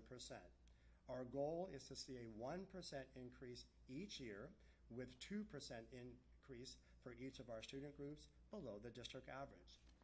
The state of California redefined the manner in which they calculate CTE completions. This has led to some new actions that will be undertaken this year. Provide incentives for teachers to obtain a CTE credential in addition to their single subject credential. Secondarily, a CCI tool will be provided for counselors to use to identify student's progress toward pathway completion. We are pleased to report that considerably more of our 2018 graduates took three or more mathematics courses during their high school experience. Noted on the slide are the impressive student group increases. Our 2018-19 goal was to increase this number by 2%. Also, we have seen an increase in the number of students who are enrolled in an advanced placement course. Our 2018-19 goal was to increase this number by 2% as well. Our addition of a halftime intervention counselor at our high schools to monitor our students' four year scheduling continues to be a key benefit for our students. PUSD will continue to build on our current systems to promote equity and access for all students. In support of goal number two, 12.8 million is the total proposed LCAP budget. 5 million is coming from LCFF base, of which 3 million is for the CTE program, 3.3 million from supplemental grant, another 3.3 million from other state and federal funds, CTEC grant of 1 million and 116,000 coming from the county. Okay, goal three. Goal three focuses on safety, the physical, the social emotional, and our physical facilities. As we review Goal 3, you'll note the 2018-19 actions and services that will carry over and the proposed 19-20 actions and services moving forward. Physical facility assessments were conducted in order to identify areas of need for the safety and security of our schools and offices. We look to prioritize and implement those recommendations. Last year, we added three counselors at the middle school level and increased our psychologists. All sites also participated in suicide prevention and mental health support training. Based on needs identified by our school sites and community, we are excited to share the increase of a 0.5 counselor at each of our comprehensive high schools. These 0.5 counselors will focus on the integration of career and technical education at our secondary sites, as Ms. Latang shared earlier. we created a school safety committee that included staff, first responders, parents, and students, which developed a district safety plan and recommended prioritized actions. As part of this work, we are broadening options based district wide training for schools and departments to include new staff and looking at students as well. The success and engagement of each of our students is important to us. Later this month, each of our school sites will be sending a site team to learn more about positive behavior intervention and supports with noted expert Dr. Jeff Sprague. Critical to this work is the need for restorative practices as we look toward reducing suspensions, thus both supporting and nurturing the relationship between student and school. Additionally, we continue to intervene with our potential dropouts at our middle and high schools, which currently stands at eight students total for our district. Last year, we were fortunate to be awarded a three year Education of Homeless Children and Youth grant. As we move into our second year of this grant, we continue to assess the needs of our family experience, families experiencing homelessness and implement services to ensure that they have equitable outcomes for our youth in transition. In reference to Goal 3, the state of California utilizes the California School Climate, Health, and Learning Surveys to provide data which can be used to improve student academic performance and social, emotional, behavioral, and physical health for all youth. Three surveys are provided to the district one for students in grades 5, 7, 9, and 11, the California Healthy Kids Survey, one for parents of all grades, the California School Parent Survey, and one for staff, the California School Staff Survey. The surveys are administered on an every two year cycle. PUSD students, parents, and staff completed the surveys in the fall of 2018. The data reported on this slide is derived from the 2018-19 student and parent surveys and display specific district LCAP goals. The 2018-19 goal was to see an increase of 2% in positive responses as compared to the 2016-17 data. Sites were provided their CHICS survey responses. Information from these surveys is currently being utilized and analyzed at each of our school sites in order to enhance positive school cultures and to provide comprehensive positive behavioral interventions and supports PBIS systems for our sites. As reported on the California School Dashboard, our suspension rate was deemed medium at level 3, yellow. Our 2018-19 LCAP goal was to see a decrease of 0.6% from the previous year. However, we saw a slight increase of 0.3%. This is work that we continue to employ in regard to our social emotional and restorative justice programs and supports for all our students. As noted on this slide, more of our students have passed five of the six physical fitness tests in fifth, seventh, and ninth grades. Our elementary teachers and PE teachers continue to provide a comprehensive standards-based program for our students. To maintain safe, clean, and positive learning environment, for goal number three, the proposed budget is 11 million. We have LCFF base of 3.9 million, supplemental grant of 5.4 million, other state and federal funds of 1.6 million. And goal four. We have long enjoyed a strong partnership with our community in engaging and ensuring the success of our students. This is reflected in goal four. In addition to our 1819 actions and services, we will broaden our Mandarin 50-50 dual immersion program at Adobe Bluffs to include first grade. We value the support given our district from the Confucius Institute. We will continue to implement and broaden the participation of students in our Korean language program at D39. This program is supported via a grant from the Foundation for Korean Language and Culture in the United States and is offered as an elective during the instructional day. Engaging our students in various programs while partnering with our parents is important to decreasing absence rates. Working with our parents, we can strategize ways to bring our students back into their education. We recognize that this may mean different pathways in order to engage our students. As we increase parent participation, we continue to explore ways to assess parent engagement and involvement. This year, we launched Thought Exchange as a means to gather stakeholder engagement for our local control and accountability plan over 9,000 stakeholders, 6,000 of those identifying as parents, provided feedback on the most important things to focus on as we continue our, our work to support all students. We continue to support partnerships with businesses, such as internships with Northrop Grumman, as well as our Studio 701 digital media program, which produces our monthly Excellence in Education videos. One of the most exciting opportunities for our students is through our partnership with Palomar College. In addition to the discussions about middle college and dual enrollment, Palomar continues to support the Palomar Promise. This promise ensures that the first year of Palomar College is free for our students, supporting their success as they begin their post secondary journeys. Consistently, we strive to broaden the engagement of both our parents and students as they become college, career, and life ready. In support of Goal 4, our California School Parent Survey reported a high level of parent engagement in our schools.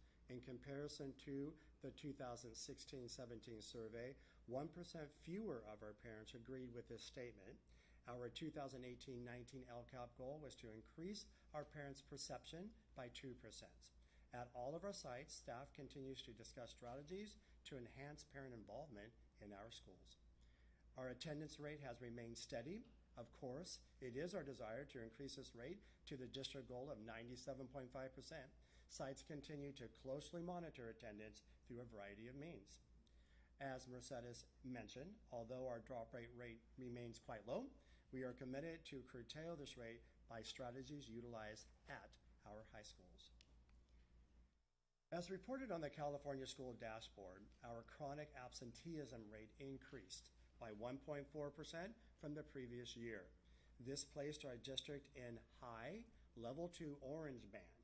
Our LCAP goal was to decrease chronic absenteeism by 1% each year for all students and 2% for each student group below the current district average.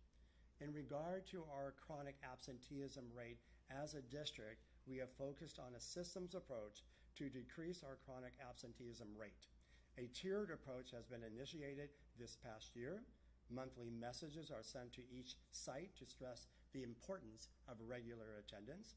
Many of the messages encourage parents to avoid taking vacations during school days. Each of our school sites has been given access to chronic absenteeism data, which is available in our district student report center to provide real time review and interventions. In addition, counselor, teacher, and parent meetings have been held on a more regular basis to support families and individual students. Intervention strategies have been provided for each site as communicated from our attendance and discipline department. Particular assistance has been focused on supporting military families, youth in transition, and foster youth. Okay, in goal number four, 1.2 million is included in the LCAP budget mostly coming from the LCFF base fund and a small amount from supplemental and state and federal funds of 88,000. Goal five. Collaborative, strong learning structures for both students and staff are the focus of Goal five. We continue the expansion of blended learning opportunities for learners, which include professional development and embedded coaching models for support. Our Voyager program models this embedded coaching model by building teacher capacity around the areas of blended learning, flexible learning environments, purposeful technology integration, and meaningful feedback to support student centered learning opportunities. Through PSEA's Professional Partner Program, our new or probationary employees, as well as employees who need additional support, are assigned an experienced and trained mentor as a partner for success. Professional learning and support via PPAP, the Teacher Professional Learning and Effectiveness, System, TPLUS, and our Teacher Flex Day not only provide options for our teachers, but honor professional choice in their learning. Our Teacher Learning Cooperatives, or TLCs, allow for increased alignment with district initiatives such as AVID, the utilization of Benchmark Advance, Next Generation Science Standards, technology, and intervention. We look forward to continuing with our partnership with the PFT and our PSEA as we support both the TLC and the Classified Learning Cooperative, the CLC, in support of outstanding professional learning for our certificated and classified staff. Finally, as we strive to create, create conditions and cultures to support world class learners, the actions and services found in our 2019 20 LCAP continue the deep work that we embarked on this, the 2018 19 school year. Our TLC participation continues to grow each year. Teachers continue to engage in professional learning endeavors that will enhance their teaching focused on our district initiatives. During the 2018-19 school year, 870 certificated employees participated in the Teacher Professional Learning and Effectiveness System. This includes all classroom teachers, resource specialists, librarians, and speech pathologists who, who participated in TPLUS this year. Out of the 870 participants in 2018-19, 57.5% participated for the first time.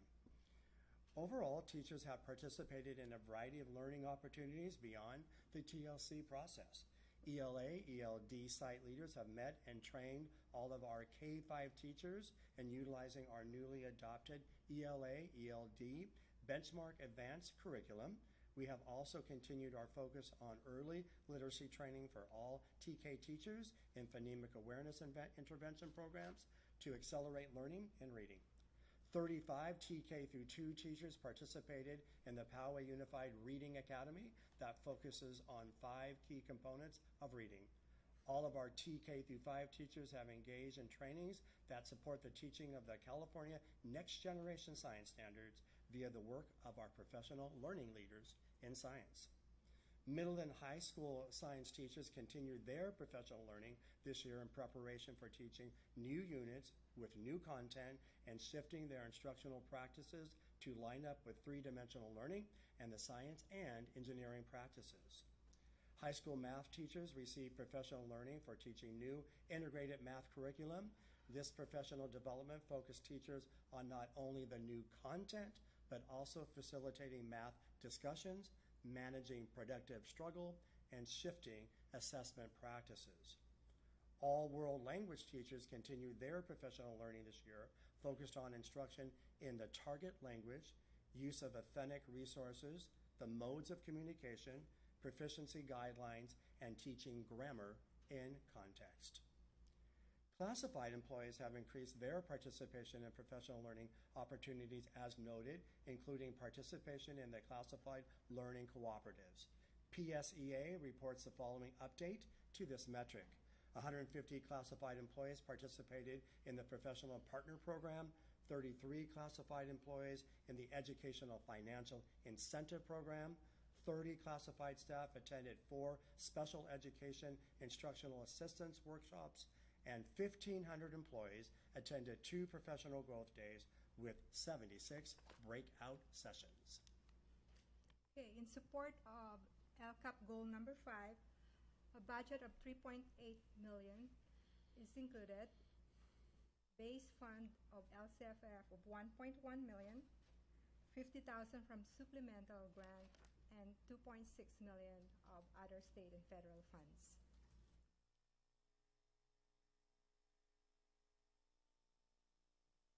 So we will um, complete our presentation and open up for questions. Our next steps are, last evening we met with um, the District Advisory and District English Learner Advisory. They provided us feedback and input, so we'll be reviewing that. The draft LCAP is available for review and input between now and our um, June 27th board meeting, which we will be bringing back um, our revisions to the LCAP for a request for approval for the final draft of the LCAP, and then um, following that, we will be submitting the adopted LCAP plan to the San Diego County Office of Education for their final approval. And now we'll open it up if you have questions. Thank you very much. Thank you to the presenters as well. Does the board have any questions at this time? Mr. Schwartz? Hi, thank you for the presentation. Um, very clear and very colorful, so kept me interested. um, um, I noticed that the attendance rates you shared were 94.6%. Um, but what I'd previously seen from Mr. Little wasn't it usually around like 96%. Um, it said a decrease of 2.4%, which is huge considering ADA money, et cetera. So I was wondering what that, what the difference is for and where that, that is a metric came from. Yeah, that was, that was the latest one that I, that I located in my data, but I can definitely go back and check that for uh, accuracy. Thank you. You're welcome, Could that be a one month only and not a year average? Could have been something that way. It is the yeah. end of the year. Yeah, Good yes, yes. Thank you very much. This is a ton of information. we are swimming in data here, and it would have been great to get this before today. So we could have some more thoughtful comments um, off the top of our heads here. But swimming in data here, and what are we doing with this data? That's what I want to know. Are we really looking to see why our numbers and our percentages went up or down? Um, maybe even on a site by site basis so that we can duplicate our successes or really focus on our problem areas to improve them? Are we asking sites to analyze their numbers? Michelle, as you recall, every year that we um, conduct our work in the single plan for student achievement, where we then reflect on all this data at each of the sites. And then with our teams, we devise our programs and strategies that we are then going to employ. And then getting better at really looking at what we're doing and then measuring the impact in a tighter fashion. I think that's one of our bigger goals. I know one of the things that we've been looking at in terms of smarter balance assessments is the state has what they call interim assessments that you can do along the way that a lot of our schools and teachers have been implementing more so um, as we've gone forward. And that's really helping us having a tighter written, taught, and tested format because a lot of this data obviously is derived from smarter balance. And, you know, we're, we don't do everything every day in class to align with smarter balance, you know, not for a test. But we need to look at that and have tighter alignment with that so we can really get a true measure of how our kids are doing over time. So I am, the interim assessments really are growing more and more from the state. So teachers get more access to what are those items, what are the depth of knowledge questions that kids are really asked to do, and then we do more of them, especially in the performance tasks. Because the Smarter Balance test is based on kind of a multiple, multiple choice and then a performance task in ELA, math, and science. And where the rubber meets the road is the performance task. The state gives you much, many more points when kids can perform on a, at, a, a better level on that performance task, because that is what the Common Core standards are leading toward. And I think Ms. O'Connor Ratcliff as well, when you have opportunity in the annual update. So one of the things we have to do each year is based on what we did from last year, we have to report on the metrics and kind of like how things panned out, right? So in the annual update, which is in the front of the document, um, you'll see that there is a report around specific metrics and then the actions and services and kind of like what actually happened with them. And then as you go kind of a little bit lower in, the, in that section for each of the goals, it asks us basically what was effective And so it, it's it kind of you know I, I, I agree. The data is you know we work with it a lot, and it, it's a lot for us as well. It sounds like we might actually be a year behind. When some- we in analyze our data, we're one year back. It- in some of them, in, based on the way we receive the data from the state of California. So that is, yeah, it is that is very challenging. You're correct. And I'm not crazy about the idea of throwing more standardized tests at our kids and to get more more data on an interim basis either. If we're going to do that, we need to subtract some of these other things. I That's exactly what we're looking at. We're looking at where, what is the new benchmark curriculum, what assessments are there, how are we using the universal screening, how do all these pieces fit, and so that we Still can taking reduce maps redundancy. three times a year, exactly, too. And, and we're working on looking at map and looking at when is that needed or is it needed. So we're looking at all of those assessments to make sure that we are um, making sure there's time for teaching and learning, and not just testing. Thank you. Did I say more? or you- Okay, because I'm glad to hear you say that because when I look at, and I didn't look closely, but I did look at least briefly to give it an overview. Our our chicks looks not great in middle school in particular. Um, standardized tests aren't the only thing at fault for that, but that's that's concerning. We have a lot of other things to do than than pick up our our academic measures. The the the kids are not rating their experiences where we would like to see it, obviously, and I I'd love to have some concrete ideas coming through about how how our schools fixing that. I'd love for the board to hear more about it. I Yes. And unfortunately, what we see nationally is, is, is the trend, and, and it's and it's, it's not singular to us. It, of course, it's not definitely not okay mm-hmm. with us as well. I think when we start looking at some of the things we want to implement around positive behavior intervention and supports, when we look at um, the additional counseling, when we look at restorative practices, um, part of the rationale be, behind bringing in site teams, you know, so we brought the, the, the expert here to us so we can be able to, to really kind of maximize um, that professional learning for our school sites so that we provide that time so that schools can maybe you know start looking at developing a plan. I, I know that that um, it is something that that we also recognize, and, and we are looking at what are those tangible, targeted uh, actions and services that we can do to address those concerns. Yeah, because I love that I we can point to the things we're trying to do, but are which ones are effective and which ones aren't. They sound good, but they're not working. Yeah. So I'm I understand that the year behind is kind of frustrating, but we we're rolling with it as fast as we can to.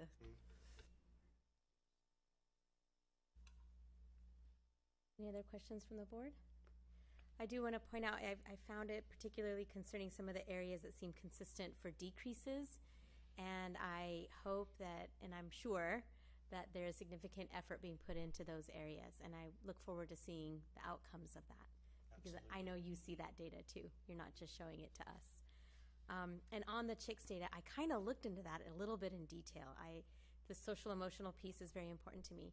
I noticed that with our high school students, and I'm sure you noticed it too, that they're achieving very highly. They're very engaged in their work, but their opinion of the meaningfulness of it seems low. And I think that's particularly telling for our high school students. They want to do well, they're trying hard to do well, but they're doing well to please us and not to do meaningful work for themselves. And I think that's something maybe systematically we should be looking at. Thank you.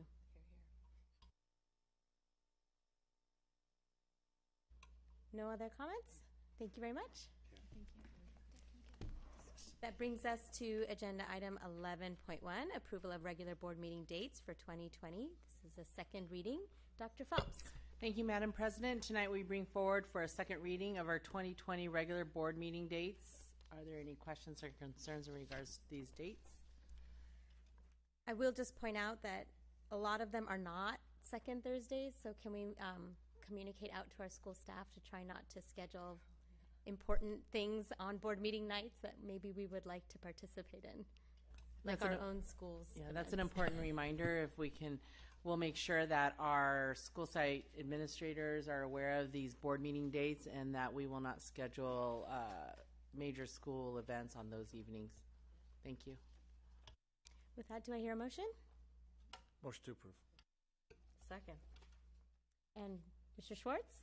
Aye. And the rest of the board, all those in favor? Aye. Any opposed? Motion carries 5 0. Thank you. We are now at agenda item 12.1, board member reports. I'll start at the end. Mr. Schwartz. Hello, Poway Unified School District committee members and staff. It is with a heavy heart that I report to you one last time. Over the course of these past 12 months, I've met so many amazing people. I've grown close to my very respected board members, um, worked alongside Dr. Phelps and her team of associate superintendents, and made many collections with the Office of Education and the government. I have attended tens of events across the county and advocated for students' wants, as well as met with almost every associate superintendent to learn about their areas of expertise. I would just want to share my fondest memory over the course of this last year would either be getting to attend the entire weekend dedicated to just school board activities at the CSBA AEC conference, or getting to judge the amazing duct tape fashion show at Valley Elementary School, where they actually gave me handouts of duct tape things, which I have in my room. Um, still, all the memories I have in this job have been great ones. Although I have not been exactly able to change any specific policies, I believe I have achieved great success in publicizing the Board of Education, acting as a liaison between students and the district, and representing student voice during every board meeting.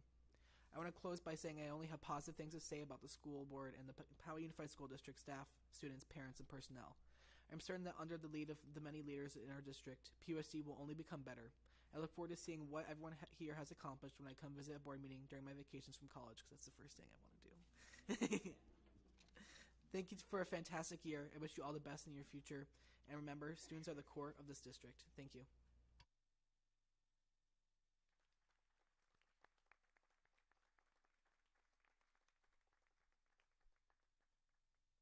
Thank you, Mr. Schwartz.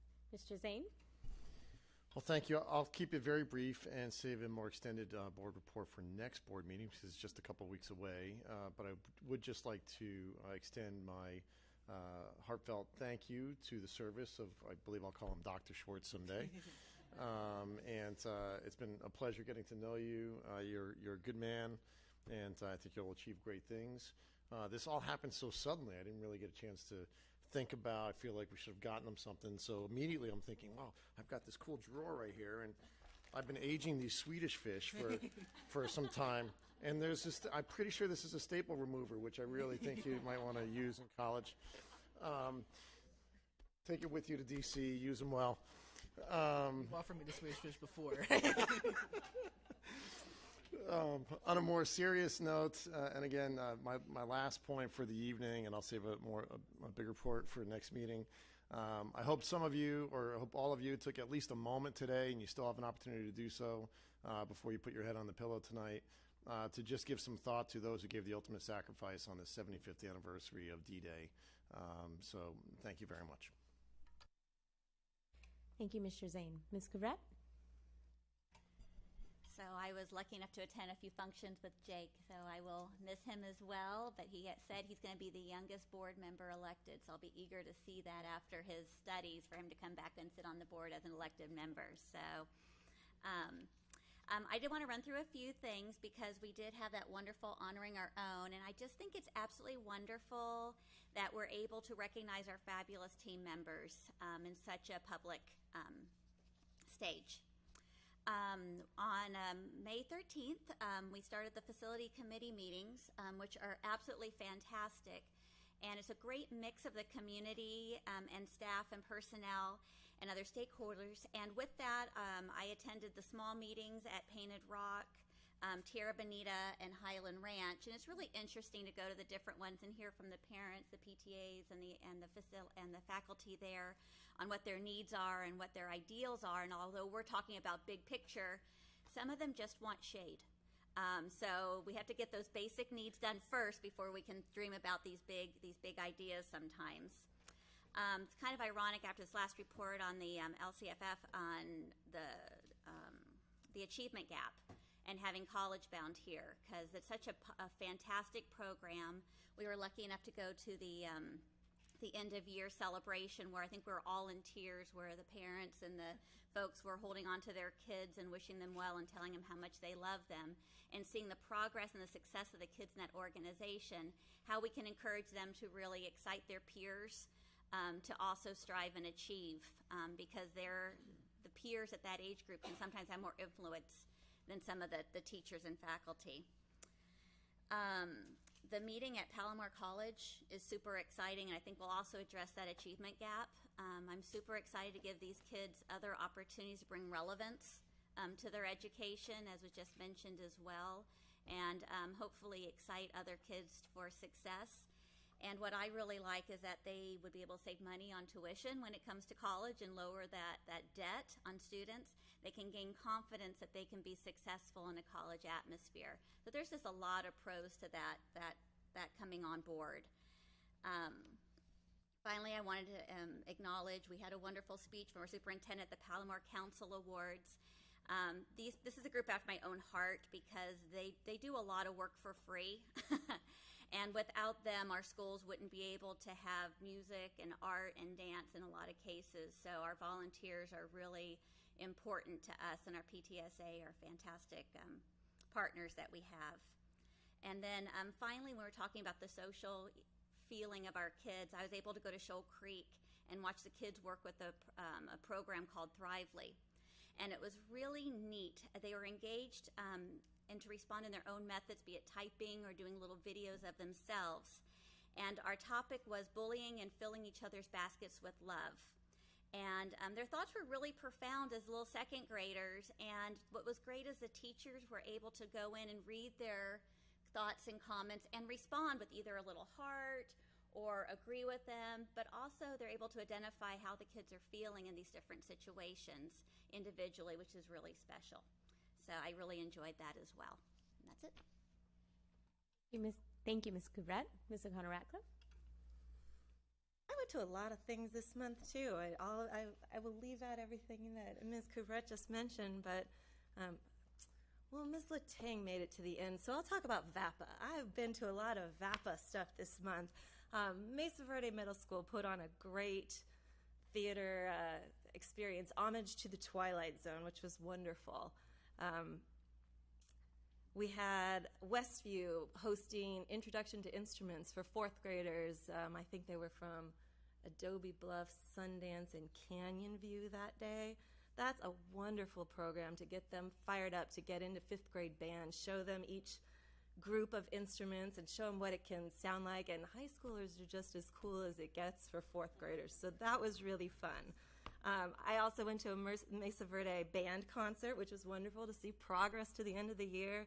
A Westview choir performance. That was a showstopper. Loved it. I wish I had seen Mount Carmel's because I heard that one was excellent as well. Um, I, I hit a lot of other events too. Mesa Verde sixth grade Olympics. I have the girls high jump winner in my house. That was amazing. Um, D39 did their Maker fair. I spent a lot of money. Del Sur's Colonial Day was awesome. Um, as always, the Excellence in Special Education Awards, one of my favorite things that we do here. I couldn't stay the whole time. I had my son with me who absolutely appreciates everyone in that room, and they all understand him perfectly and why we had to leave early. Um, but I love that one the recognition from the parents of students receiving those services to the people who have helped their kids along the way and really stood out. And it's always a tearjerker, too, to hear the stories, the reasons that they were nominated by the families. Um, I want to wrap it up here, I guess, but sitting this morning in this breezeway where I was freezing, even though the sun was out at Mesa Verde outside the library, helping check in textbooks. Five days left, guys. Counted it down in my house. Um, I was just thinking what a good year it's been for Poway Unified, and we heard a lot of that today. We've had the accolades rolling in for our district staff at every level, for our schools, our programs, our community partners, and our students are just off the charts.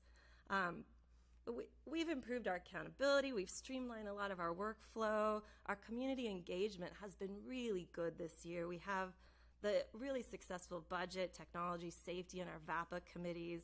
Um, our, our safety on our campuses, even if our, our surveys don't seem to reflect it, we've done a lot of work and we've explored a lot of important changes in our policies. I'm partial to the work on our homework policy. Can't wait to see how that one pans out. Um, we expanded our Voyager program. I love all of the things that I've seen our kids doing with that.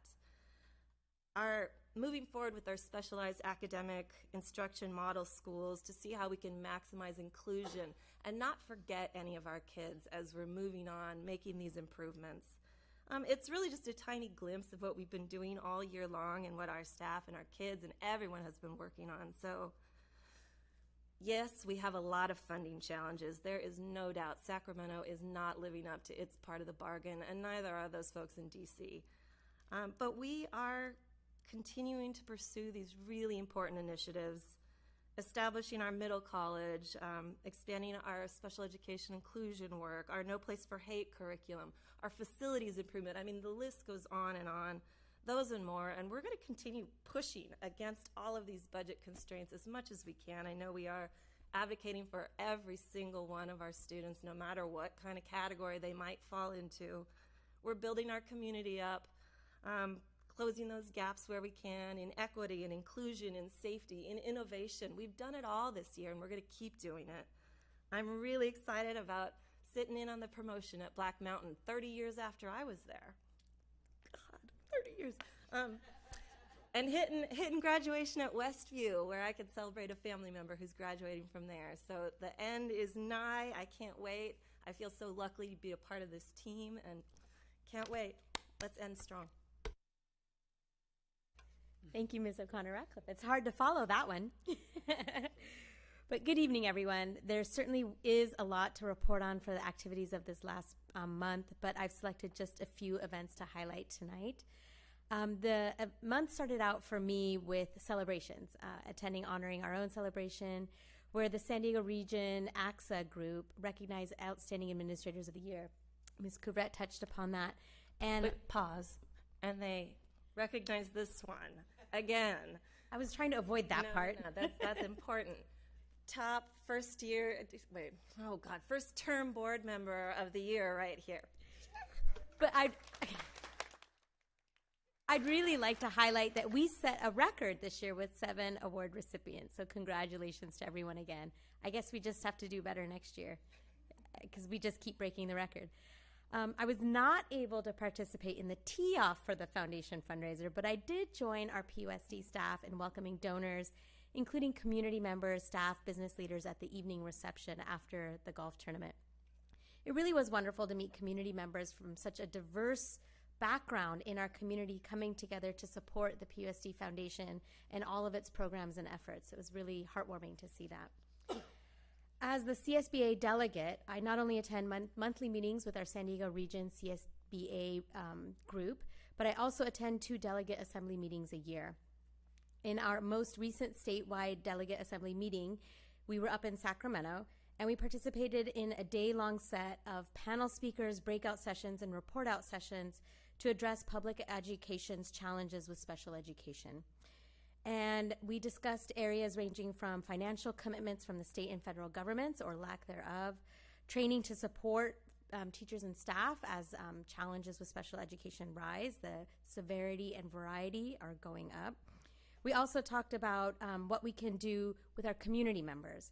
And all the impressive part is all of the delegates came really prepared with all of their homework completed. And that meant that there was district staff in all of these districts throughout the state coming together to support this work, pulling together data from across the district on special education concerns. We were able to bring all of this, this data together, and now we're building a platform that CSBA can use to intelligently and accurately advocate for special education needs throughout the state of California. It's actually very powerful work, and I'm very impressed with the way it was organized. It was my first delegate assembly. I was also asked to give the opening speech, so that was kind of odd for my first delegate assembly. Like my colleagues here, I was excited to hear about the prospects for Middle College through the partnership with Palomar College. From my understanding, we're still very much in early stages. I know we had a lot of questions. We're very eager and excited about it, and I'm looking forward to hearing all the updates that will be coming shortly, I'm sure. This month, I was invited, to present at the Rancho Bernardo Kiwanis breakfast meeting. They start at 7 a.m. It was quite early, but there was lively discussion around our budget, facilities, master planning work, as well as our CTE programs and adult education. They were in, an engaged and inquisitive group of adults that were just excited about PUSD and ready to support us in our endeavors. And the month ended with celebrations as well. As would be expected for the end of the year, I was able to attend both the College Bound Awards night as well as the Palomar PTA Breakfast Awards Breakfast. Both awards programs show the dedication that our entire community has towards public education, and it's something worth recognizing and noting that the support comes far and wide and all the time. And that concludes my report. Thank you. That brings us to item 12.2. Dr. Phelps. We have many recognitions of note to present to the board this evening, so I'll go through all of them tonight. I'm just kidding. Please look at the board packet for the full description in 12.2. I encourage you to read them. In the interest of time, I'd like to highlight just a few. Two Westview High School students completed at the Intel International Science Fair, where they received special awards and recognition for their research. Congratulations also to Poway High School for being named uh, a nationally recognized Project Lead the Way Distinguished School. Also, Del Norte High School's Rocketry Club students are now among the 101 national finalists in the Team America Rocketry Challenge. The students will compete at the national finals in Northern Virginia. This month, our Studio 701 interns covered the new Launch Lab at Pomerado Elementary School. It's a new way to expand our students' learning based on their students' strengths and interests. Take a look at their 17 minute video.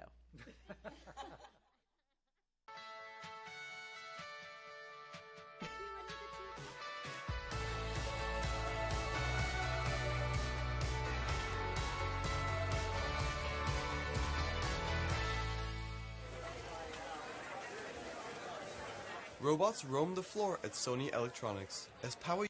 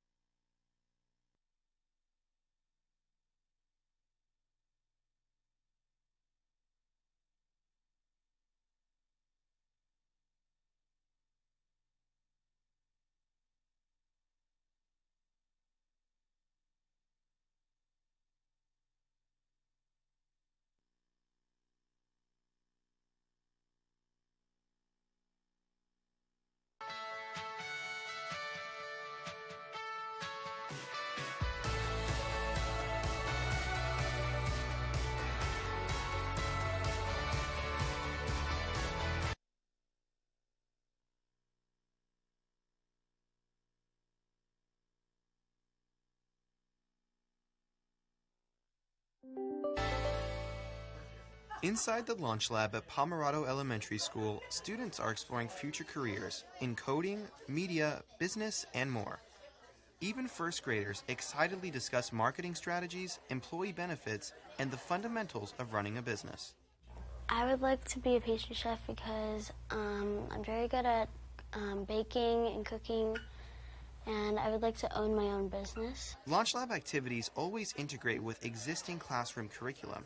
For example, if students are learning about goods and services and language arts, then they explore related careers in the lab. A lot of people that want to do enterprising are really social and they want to lead and pers- persuade people and they want to take responsibility. Students learn about their personal strengths and passions to help them focus on potential career paths. I like to draw and like I like to doodle too. And it really has helped me to be like in the future to be an artist. In the launch lab, I use the green screen the most, and it gives me a different um, setting than what I would have in my regular classroom. We have a fourth grade student. He recently went to the library and asked um, our librarian for some books on being an engineer. He said he wants to go back to Guatemala where he still has family. He wants to build buildings there for people who don't have very much money. Inside of the lab, students take ownership of their learning and are motivated to pursue their interests outside of the classroom. The learning extends outside of school as well, with partnerships with other schools and businesses. We had an opportunity to partner with Poway High School and their ag program, and those students came and provided opportunities for students to know what it might be like to be a zoologist or a veterinarian or an animal trainer. Uh, in addition, we had an opportunity for students to attend the Petco Park and understand what it might be like to be a statistician at a major baseball field or a baseball with a baseball team, or to be in their broadcast studio, or to be in marketing. The Launch Lab provides a fundamental shift in how schools can prepare students for college and career readiness, setting them up for bright futures and endless possibilities as they grow into high school, college, and beyond. For the Excellence in Education series, I'm Damian Henson, Studio 701.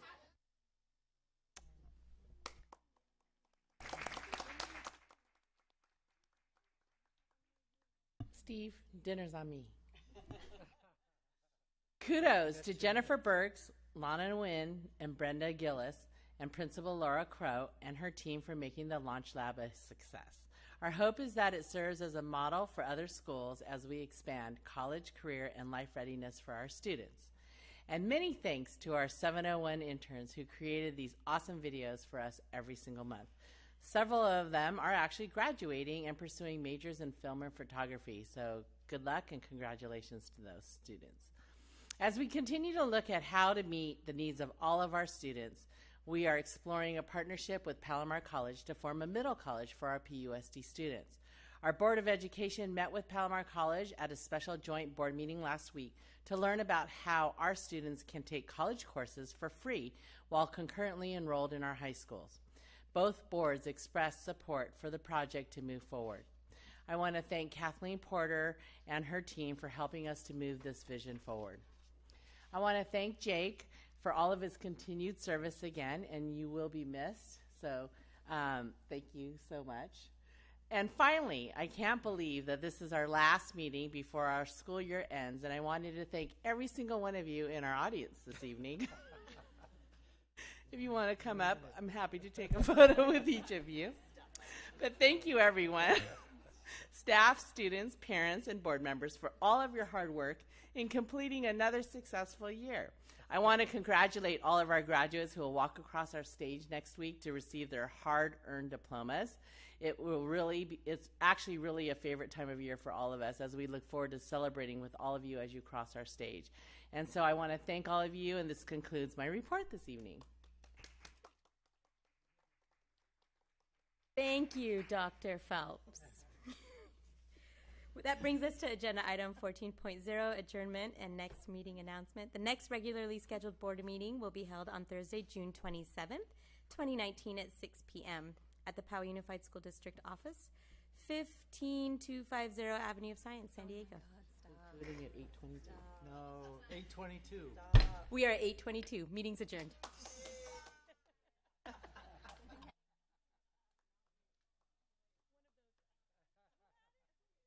Ron did.